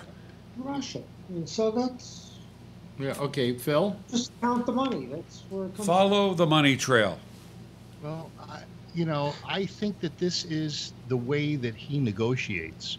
That he uh, doesn't do it from, uh, a- a- a- unlike what he did with Kim Jong Un, calling him also, you know, Rocket Man and so forth. Uh, with these other guys that actually have some power, uh, what he does is he stays friends or, or supposed friends, and so that he can actually negotiate and bring them into the circle. Uh, Richard Nixon. Why do you want to bring in Putin to the circle? Putin is a it's a- gangster. Well, here, here. Hold on a second, Phil. He Here's, does kills a people. Here, things. here's a lie. Here's a lie that he he proffered. He got up and he said that the reason why uh, Russia was thrown out of the G7, uh, wa- uh, the G8, was because uh, uh, uh, Obama had him thrown out, and that was a complete and utter lie, because Obama had nothing to do with it. It was all the countries who were fed up about Crimea and about the Ukraine, and they threw him out, not Obama. And so that inference that Obama was the reason why was horrible. Anytime you hear him going after Obama, I think it's because they've got him on something and he's got to divert. He diverts with Hillary still. Hillary, he brings up Hillary all the time. Yeah. Like, But what, what do you think about that, Phil? Because he was completely wrong. I'll be right back. answer. I'm getting a drink. Okay, go get a drink. you know, it, it's it's all a matter of interpretation. What I heard him say, Mm-hmm. uh, and and and believed what he said, was that under Obama's watch, Crimea uh, was uh, taken over by Russia, Mm-hmm. and that uh, Obama let it happen. And also, he talked about the red red line in the sand in uh, Syria, and uh, you know, it did fall to Russia under uh, Obama's watch, and uh, some of the problems that Syria is having. Uh, he's blaming Obama for not doing what he said he would Well, do. why is he so that obs- why is he so weakened- obsessive? That weakened our position. Why is he so obsessive about going after Obama? Uh, I think that uh, he feels attacked by him Mhm. uh, in many ways. I think he didn't like the fact that he made fun of him at the correspondence dinner. Right. If that was the I case, think it go, everybody makes if fun I of him. were to go back and I had the ability to go back and uh, you know like a back to the future situation where I could go back and change something, I would go to that correspondence dinner, get backstage, go up to Obama and say, "Do not eviscerate Donald Trump up here." And if he didn't, Donald Trump probably would have never even run for president. Nope. You know, he was that thin skinned that he ran for president uh, so he could, you know, show Obama what's what. And he sp- seems to spend all his time going after Obama. And by the way, ex presidents don't go after uh, uh, uh, uh, uh, current presidents, don't go after ex presidents. You just, Do leave. ex-presidents, I'm sorry, uh, Oh. do ex-presidents go after current presidents? I- Not Obama well. did. Well, he did once he was attacked. He kept his mouth shut for the longest time, Phil, while Trump constantly eviscerated him. And it was only recently that he just had something very mild to say, but pointed. Do you remember the attacks against Bush?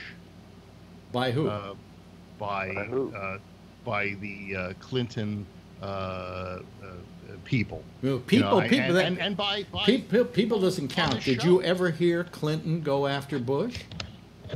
Never went after. No. Did you ever? Have you heard Bush go after Trump? yes, No, not really. Not really. uh, yeah, his whole family went after him. no, uh, the family, they did to forget the Jeff. family, Phil. We're not talking about the family. We're talking about the president. We're talking about the guy. And I don't think, no, I, I think you're wrong. Yeah. Um, I'm spoiled. huh? What? I'm what? spoiled. I've been in this air-conditioned room. Oh, really? Oh, yeah, it's hot in the other part of the house. Is it hot? compared to this? Well, yeah, it feels hot. He, he got a is. new air It's hot. conditioner.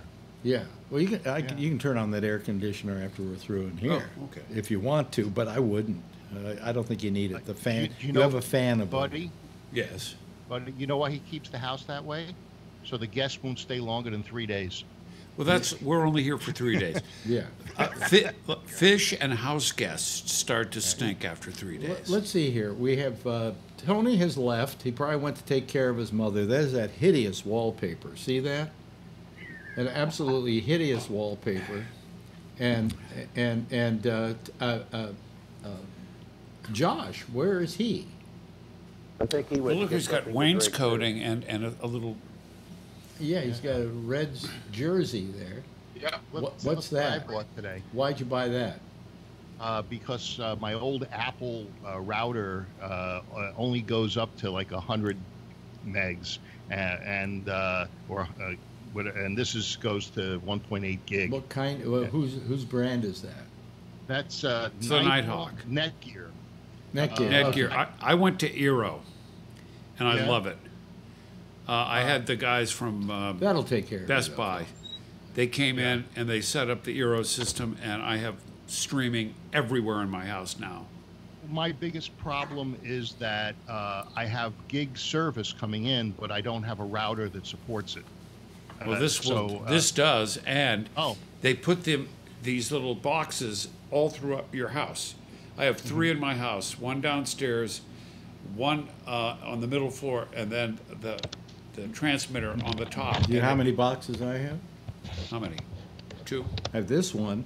Do you have Eero? Then I'm no. Then I'm hardwired out to the bedroom, and in the bedroom I have a, a another router, uh, and it, and it takes care of the rest of the house. Yeah. With, Even- with that, you even the don't need TV two routers. You don't need an amplifier. You just set the system up and put these little things. No, but that they're all house. routers though. They're they're relays. And they all have to be able to speak to each other. Yeah. So if you're in a place like this where I have really thick walls, and let's say we, we put in an Eero here, and then we put one in the bedroom, and then we put one in the living room, by the time it gets there trying to get through all these walls, each one of those is gonna get a weaker and weaker signal. Mine works. Well, because you, you don't have these kind of walls. Go, go hit that wall. You'll see what I'm talking Oh about. Oh no, I know. These are. Well, very I thick. bought this because I was in Costco today getting Keurig coffee for the store, Yeah. and uh, so uh, they they had it. I figured, okay, if I don't like it, I can That'll take probably back do it. That'll do Costco. it. Probably do it for you. They're Oh. pretty powerful. Uh, if I may interject, uh, I was out getting my uh, Coke uh, Zero, which I like, Mm-hmm. Yeah. better than Diet Coke. Uh, Alex turned me onto it last year. So I'm out there. I turn into look at my room, and there's someone being interviewed by Lawrence O'Donnell. Guess what Trump is trying to do? He's trying to bring Russia into the G8. That's happening right now. Yeah. Why? That's what he said he wanted. Why? uh, they, I guess if you you know if you have uh, these uh, uh, people that aren't playing by the rules, and you can talk to them, and you can get uh, seven other Well, countries to get them to Then acquiesce. then let me ask you a simple rules. question, Phil. Why isn't Iran there? They were. No, they were. They were never in They the never What happened was uh, uh, the uh, the was it the vice chair or something of Iran uh, showed up at the meeting. No, no, uh, no, no, no, by- no, no, at no, no. I'm not talking request. about now. I'm not talking about now. And he wasn't part of the G- G7. No. He simply was invited by Ma- uh, M- M- Macron to um, to uh, come to uh, the G7 to talk to Macron because Macron wanted to come to some kind of agreement where maybe they could start talking about having them do uh, nuclear disarmament once again. What did Trump say uh, about meeting with uh, uh, uh, what, what's his name, Rouhani? yeah. Uh, Trump said that he would meet with Rouhani, and that is the beginning no, of the dialogue. he didn't say that. He, he put a condition on it. He said if certain conditions are met, we will talk to Rouhani. And that That wasn't Rouhani No. that said that? No. Because Rouhani wanted No. money. No. Uh, and Trump said, well, maybe we can give credit against oil uh, uh, to, uh, uh, you know, to, to get them some money. Well, that was But they according- weren't gonna that- give 'em That the was money. according to uh, that was according to Trump. We don't know what comes out of Trump's mouth is exactly the truth anymore. Like for instance, he said that he had he had gotten a call the day before and was talking. They were talking with the Chinese uh, about trade, and the fact was there was no such call. he he pointed to Mnuchin and asked Mnuchin, and Mnuchin, said, he got the call he too. he he said how Trump put it was that we talked directly to them and we are negotiating with them, and Mnuchin was careful to say we communicated with them. Now, what that amounts to, who knows? But Mnuchin wouldn't say what Trump said and wanted him to say. He couched it in communicate. that sounds better than we're not talking to the guy. Yeah. You know. Yeah. yeah. Now, uh, I have something very interesting here. Um, and I, can- I wish I could give you all the, uh, the, uh, uh, what do you call it, the URL for this. But I have the, what's called, what some people are calling uh, Jeffrey Epstein's Black Book. It's his phone. Oh phone my book. God, what is that? It's his phone book. Really? I'd love to know the numbers in there. What he said. Nobody's over 16. Well, would you He's like would you like David Koch's phone number? I've got it right here. I've got it right here. Remember He's in Bruce the book. David hated he did. Bruce David hated the Koch brothers. Remember, Alex? Yeah. I don't think David Koch will answer the phone anymore. No. Right? Uh, I, I've got. Imagine if he did. I've, brother I've, Charles I've. I've got uh, Henry Kissinger's address. Uh, who else is in here? Uh, let me see here. Uh, Bobby and Mary Kennedy. Uh, That whoever they fun. are. Let's see. I don't think that's the same Kennedys. Uh, we have. Let me see here. Uh, there are all kinds Is of Is the. Prince's uh, Prince Andrew in there? No, uh, no, I couldn't find him. Could not find him. You looked. Yeah, I looked. You know who's in here? Bobby Slayton. Wow. Wow. Yeah. Uh, but you know, a lot of people are in here, and you're going to say, "Hey, you know, they, they certainly weren't diddling little girls." You know, uh, Henry Kissinger's in here. Yeah. Wow. Okay. That's pretty good. He's way into 14 You know year what? old I- girls. Well, These guys are on their investigation pretty much. Well, like no, what, no, no. This guy, what he was What in. Dustin Hoffman. Here's his uh, his phone number. You want Dustin Hoffman's phone number? Uh, Yeah, I'll- give I'm me not- his number. I'll tell him. I, I'm not going to give. What has he been doing? I'm not going to. I'm not I going to feel like that the. But you can go online. Is Woody Allen in there? No, he isn't. He wrote. This is the unredacted, the unredacted phone book. Um, now, one of the names in here uh, is uh, my one of my eye doctors. No way. Yes, I think it's him. To. I think it's him, but I'm not sure because it, it, it's the same name as mine. And this guy, my my eye guy, uh, his uh, brother-in-law is Steven Mnuchin. Um so anyway, uh, I'm, I'm looking to see Mark Marchetti. Uh, uh, let's see here. Um, uh, here, here. Any names here that I see here? Mr. David, uh, Mr. David and Lady Carina Frost. Is that David Frost? He's dead. Yeah. This must be an What- old. what was his must be- wife's name? This must be an old book. Yeah. Um, What about Dick well, Cavett? if Bobby's in there, how long ago was he uh, using the the apartment? only about three years. Oh, can't be Uh, that old then. Yeah, Steve Forbes is listed here. Forbes. Yeah, Phil well- likes Forbes. Well, you know what you gotta what we gotta remember about this guy is he was a schmoozer, Oh, Yeah. yeah. Yeah, he was First yeah, I can class. see you Yeah. right. a schmoozer Yeah. first class. Yeah. He So was I mean, just going because around. just because your name was in his book doesn't mean you know, um, Let me see here. Anybody else? Uh, Imagine you see Phil Meyer in the book, Alex. That would be funny. oh yeah, Don't shop at this drug place. He overcharged me. Yeah. Um, the Duke of York. Who? That How is- about the Duke, the Duke of Earl? Wait a minute. Isn't Prince Andrew the Duke of York? I'm not sure. Yes, he is. I think so. Yeah, because the Duchess of York was uh, what's her name? Yeah. Yeah, the Duke of Is York. there Fergie. Duke of Earl in there? Uh, uh, but he, no, he, yeah. Fergie was the Duke Hey, what about- Duchess of York. So- Trump's got to be in there, no? No, Trump isn't, but Ivanka and Ivana are. Oh, what? Yeah, Well, maybe he's got to call Ivanka to get to Donald. I, I have no idea, but a Minnie Driver, the actress. He's Um, let's see here. Uh, bu- bu- bu- bum. let me see if I. Have I saw any other- Minnie Driver at a Giants game. She was sitting right behind me. Really, she's kind of hot. She was cute. Yeah, she's Really nice too. Very friendly. Yeah. Uh, let me see here. Anything, any, any others that, uh, c- that pop out at me? Uh, nah. Let's see here. Clive Is Adam Driver any relation to her? I don't think so. I don't think so. think Get so. more in the picture here. You keep How looking over get that. See, just yeah. There you go. Uh, let me see here. Uh, Is uh, Dick Dick Hertz from Holden in there? Dick Hertz? From Holden. That's like, like Benjamin Dover. he, he- he's, a, he's a famous porn star, isn't he? Dick Hertz. Dick Hertz. Uh, some of these are circled, but I don't know why. Um but he has, uh, he, and and also has a list of uh, of um, what do you call it, uh, massage therapists or whatever in various countries, oh, and they're guys. A lot of most of them are guys.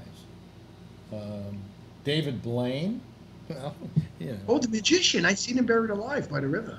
yeah. Which I don't. They should have kept. I don't think. they should have kept him. Is he still they, alive? they should have kept him buried. or in there. Yeah. That was Uh, a- uh, it goes on and on, but uh, Sir Anthony Bramford, Bamford? Hmm. Well, he had the see if- entree from if- his uh, girlfriend there, and and uh, uh, how you know house person. Is, is it Uh, she- alphabetical? Yeah. Hmm? Could you yeah. go to the V's?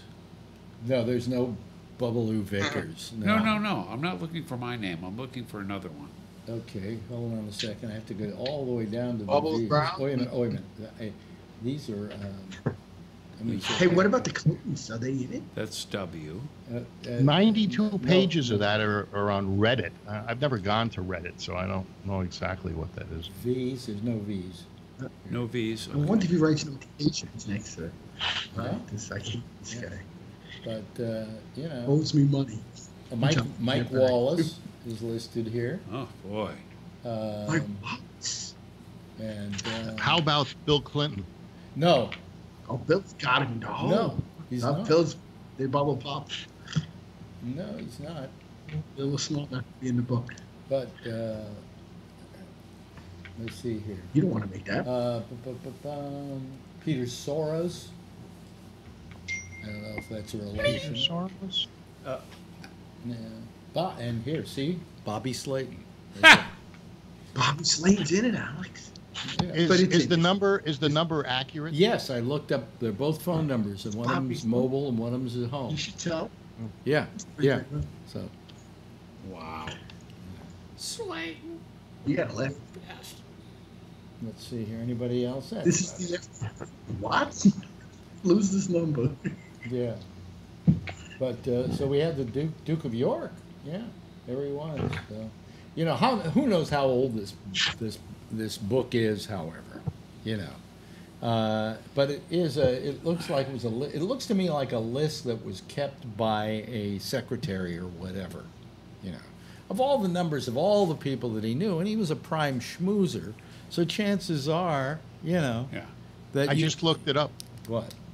The Duke of York is Prince Andrew. Yeah. Yes. Okay, he's in the book. Yeah. Well, the Duchess of York would have been Fergie, his first wife. Yeah, she's in there. So the question is how old this book is, but with Slayton in there, well, you don't know. Some of these names could have been added. They could, it could have been constantly added as he came up with new numbers, and that's what it looks like. But Where did you look- find this? Was online. This is on. This is online. Yeah, you just uh, uh, Epstein Black Book. Look at it, just Google it, and you'll probably find it. Um, All these poor I people did, had to change their was- phone numbers. Yeah, I, I did, but all I got was this thing on Reddit, and it had 92 pages. 92 pages. Yeah. Better than 96 tears. Well, that's probably it. You know. Let me see here. Where do we? Let's see. Uh, uh, let's see here. Clinton. I'm looking for Clinton. Uh, I think I looked earlier and I couldn't find Clinton. H I J K L N I L O. Let's see here. John Cleese. I knew he was a sleaze. Yeah.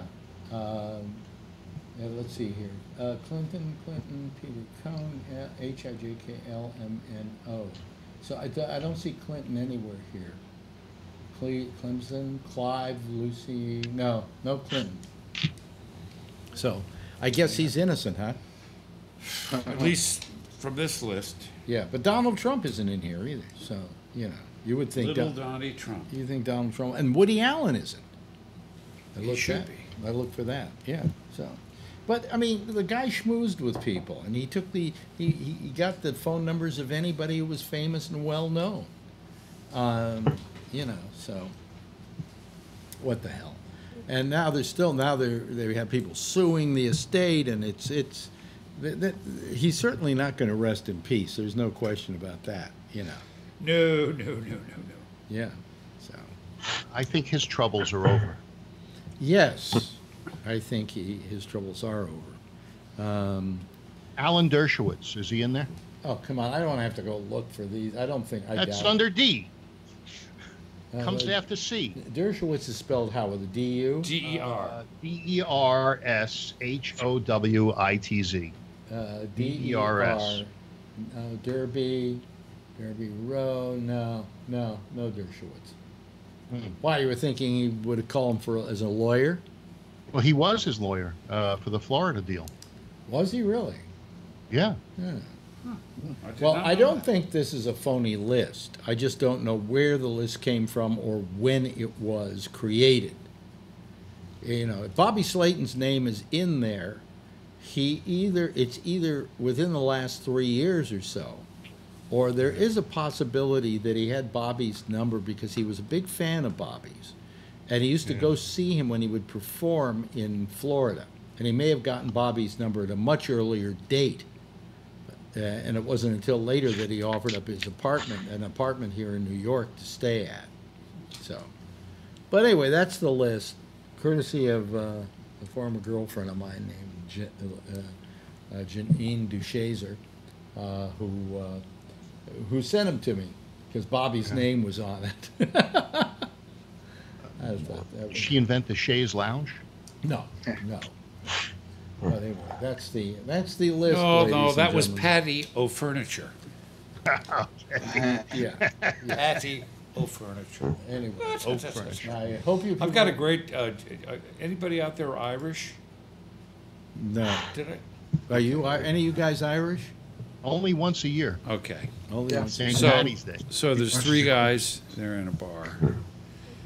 First guy's looking around. He goes, "You know, this pub's a bit dingy. You know, my pub's not more than tw- 250 meters from where we sit. Best goddamn pub in all of Ireland. You buy a shot of Jameson's at my pub, you get your first pint of Guinness for free." Second guy looks at him. He goes, "Ah, that's nothing. I live out Killarney. It's a ways out now, but you buy a shot of Jameson's at my pub, you get your first and your second pint of Guinness for free."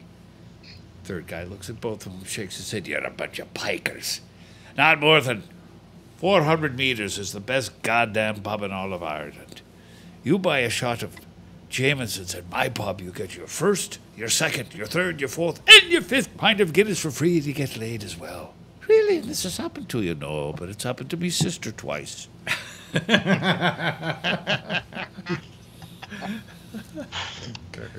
Oh boy. Uh, nothing better than making fun of the Irish. Well, that's uh, Yeah, so an Irish guy walks by a bar. yeah. It could happen. Yeah, well, two, uh, uh, Yeah, uh, really. uh, two, Uh, Jew, two Jews Couric walk into a bar. George Wait a minute, hold on a second. Two Jews walk into a bar, and they buy it. What? Uh, uh, do you want to check for Katie Couric uh, or George Stephanopoulos? Uh, no, Uh, I, I, I already closed the play page off. Ah, Oh, okay. Yeah. Um, So Sonia and Saul are walking through their neighborhood. and They walk by the Catholic church, and it uh, on the, the you know the little marquee out front, it says, "Convert to Catholicism, get five hundred dollars." Saul looks to Sonia. He says, "Look at that, Sonia, five hundred dollars. Maybe you should go check it out." So he, she goes in. He's walking around in front of the church, and half hour goes by, an hour goes by. He's starting to get a little cranky, and she finally comes out. He says, "Okay, Sonia. So, so what happened?" Said, "Oh, you should have seen the inside of the church. It was beautiful. They had stained. I know about the stained glass windows. What else? What else?" Well, I met the Monsignor. He has a beautiful pointed hat with the embroidered. I know about the pointed hat. The- What did you do? Did, did you convert to uh, Catholicism? Did you get the five hundred dollars? She looks at me. You people. okay. That's the punchline. that's the punchline. You people. By the way, let me just uh, hip you to something. If you uh, haven't watched the Dave Chappelle uh, on Netflix, I haven't. I hear it's good. Though. oh, it's wonderful. It's wonderful. Very good. Uh, have you seen the Whitney uh, Cummings uh, thing? No, I don't watch her. You don't like her. No. Okay. No, I, I heard it was good. Um, yeah, no, but uh, uh, Chappelle, this Chappelle is one, he's a genius. yeah, he- well, funnier I, I hate He's to use the word genius because we spend, No, he's funny as we, hell. we we uh, spend We we use use, it- that we word use a lot. Okay. You know, He's should. very Especially good. at Apple. yes, especially the Genius Bar. Yeah, exactly. That's the, you know. Um, That's a, that's a low bar at the Genius Bar at the Apple Store. Yeah, I, I've always had this temptation when I've dealt with them, but they're so damn nice to just say, "You're no genius." You know, this is going to be big news to Einstein. You know, you're no genius. So, anyway, uh, that's. Hey, listen, thank you so much for being with us. It with was us. great to be with you guys. Great to see you all. I saw some familiar faces and some new faces tonight. It was Well, Josh calls occasionally. Yeah, nice to see you, and- and Josh. he probably wasn't here the Go last time you were Bengals. here. Go Uh, Reds. and and Vernon doesn't call that often, so the you last time I was on the show, Vernon was was in. He was- Really? yes. son of a bitch. And Wow. so was Josh, I believe. Oh. I don't remember. I don't know. Yeah, well, I, I, I don't remember this show from earlier on, so, you know, I, I'm, I was on what November of last year. Um, yeah, it was it November year. of last year? Yeah, I was here with uh, Rachel. Oh, okay. So uh, that wasn't that long ago then. No, Oh. it was You think you think you're staying we went hat shopping? you think- remember? oh yeah, you think you're staying too long? Too often? Uh, I don't know. I'll If- ask if- Alex. Do I, am I staying here too long? you know, yeah, you're not. You could Yeah, you- oh, You'll know if he doesn't turn on the air conditioner. yeah, oh, there we go. yeah. Anyway, There was a we're- big spike in the uh, can turn it on. the electrical bill on this day. wait a minute. I'm trying to get my music to run, and it won't run. What? Let Buddy sing. But hold on a second. Let me get rid of something here a second. I'll hum hold, it. hold on a second. I'm going to get this music going if it kills me, and it Gotta probably have the will. music going. Here we go. Here, here we go. Let me see. Is it? There we go. I had to reboot the thing. Okay. So that's it for tonight, guys. very Uh, happy music. Huh? It was great gabbing with you guys on GabNet on the uh, Yeah, Ramble. buddy, It's was great. Yeah. really good to be Really with good you. show. And Phil, you, you were you were very nice tonight. And we I really appreciate it. And you were still effective in saying how you feel about Yeah. stuff, and we appreciate that. Uh, would everybody else agree with me that he was? uh, Yes, yeah? absolutely. Yeah. And I will say this to you, Phil: follow the money. Yeah. Follow Uh, the money. uh, I Thank, will. I usually pick it up when it falls on the ground. thank you to Vernon. Thank Good, you to good Phil. thing. Thank you to Charlie. Thank you to Josh. Thank you to Jeff. And thank you to um, uh, Tony. That's our uh, citizen panel for tonight. If you guys uh, will all give a big wave goodbye we'll wave back at you. Okay, there they go, ladies and gentlemen. That's our uh, our citizen panel for tonight. Let me uh, get rid of them here unceremoniously by going like that. Kapoof, they're Well, the reason I'm getting rid of them is because uh, the next guy, who is uh, Jack Bishop, is going to need to use the lines, and if I don't give them up, he can't use them. Okay. Hey, thank you so much for uh, for joining us tonight, uh, It's great to buddy, Bobby, whatever your name yeah. is. Who am I? You know, whatever the I'm a mixed is. up, shook up guy. Uh, that's it for tonight. I'm Alex Bennett. That's all she wrote. I'll be back tomorrow night at uh, early on at 8:30. We're gonna have our sports show with the franchise MC at 9:30. As always, Damien is back, and then I will see you again tomorrow night, same time, same station in life. In the meantime, if you see her, tell her I love her.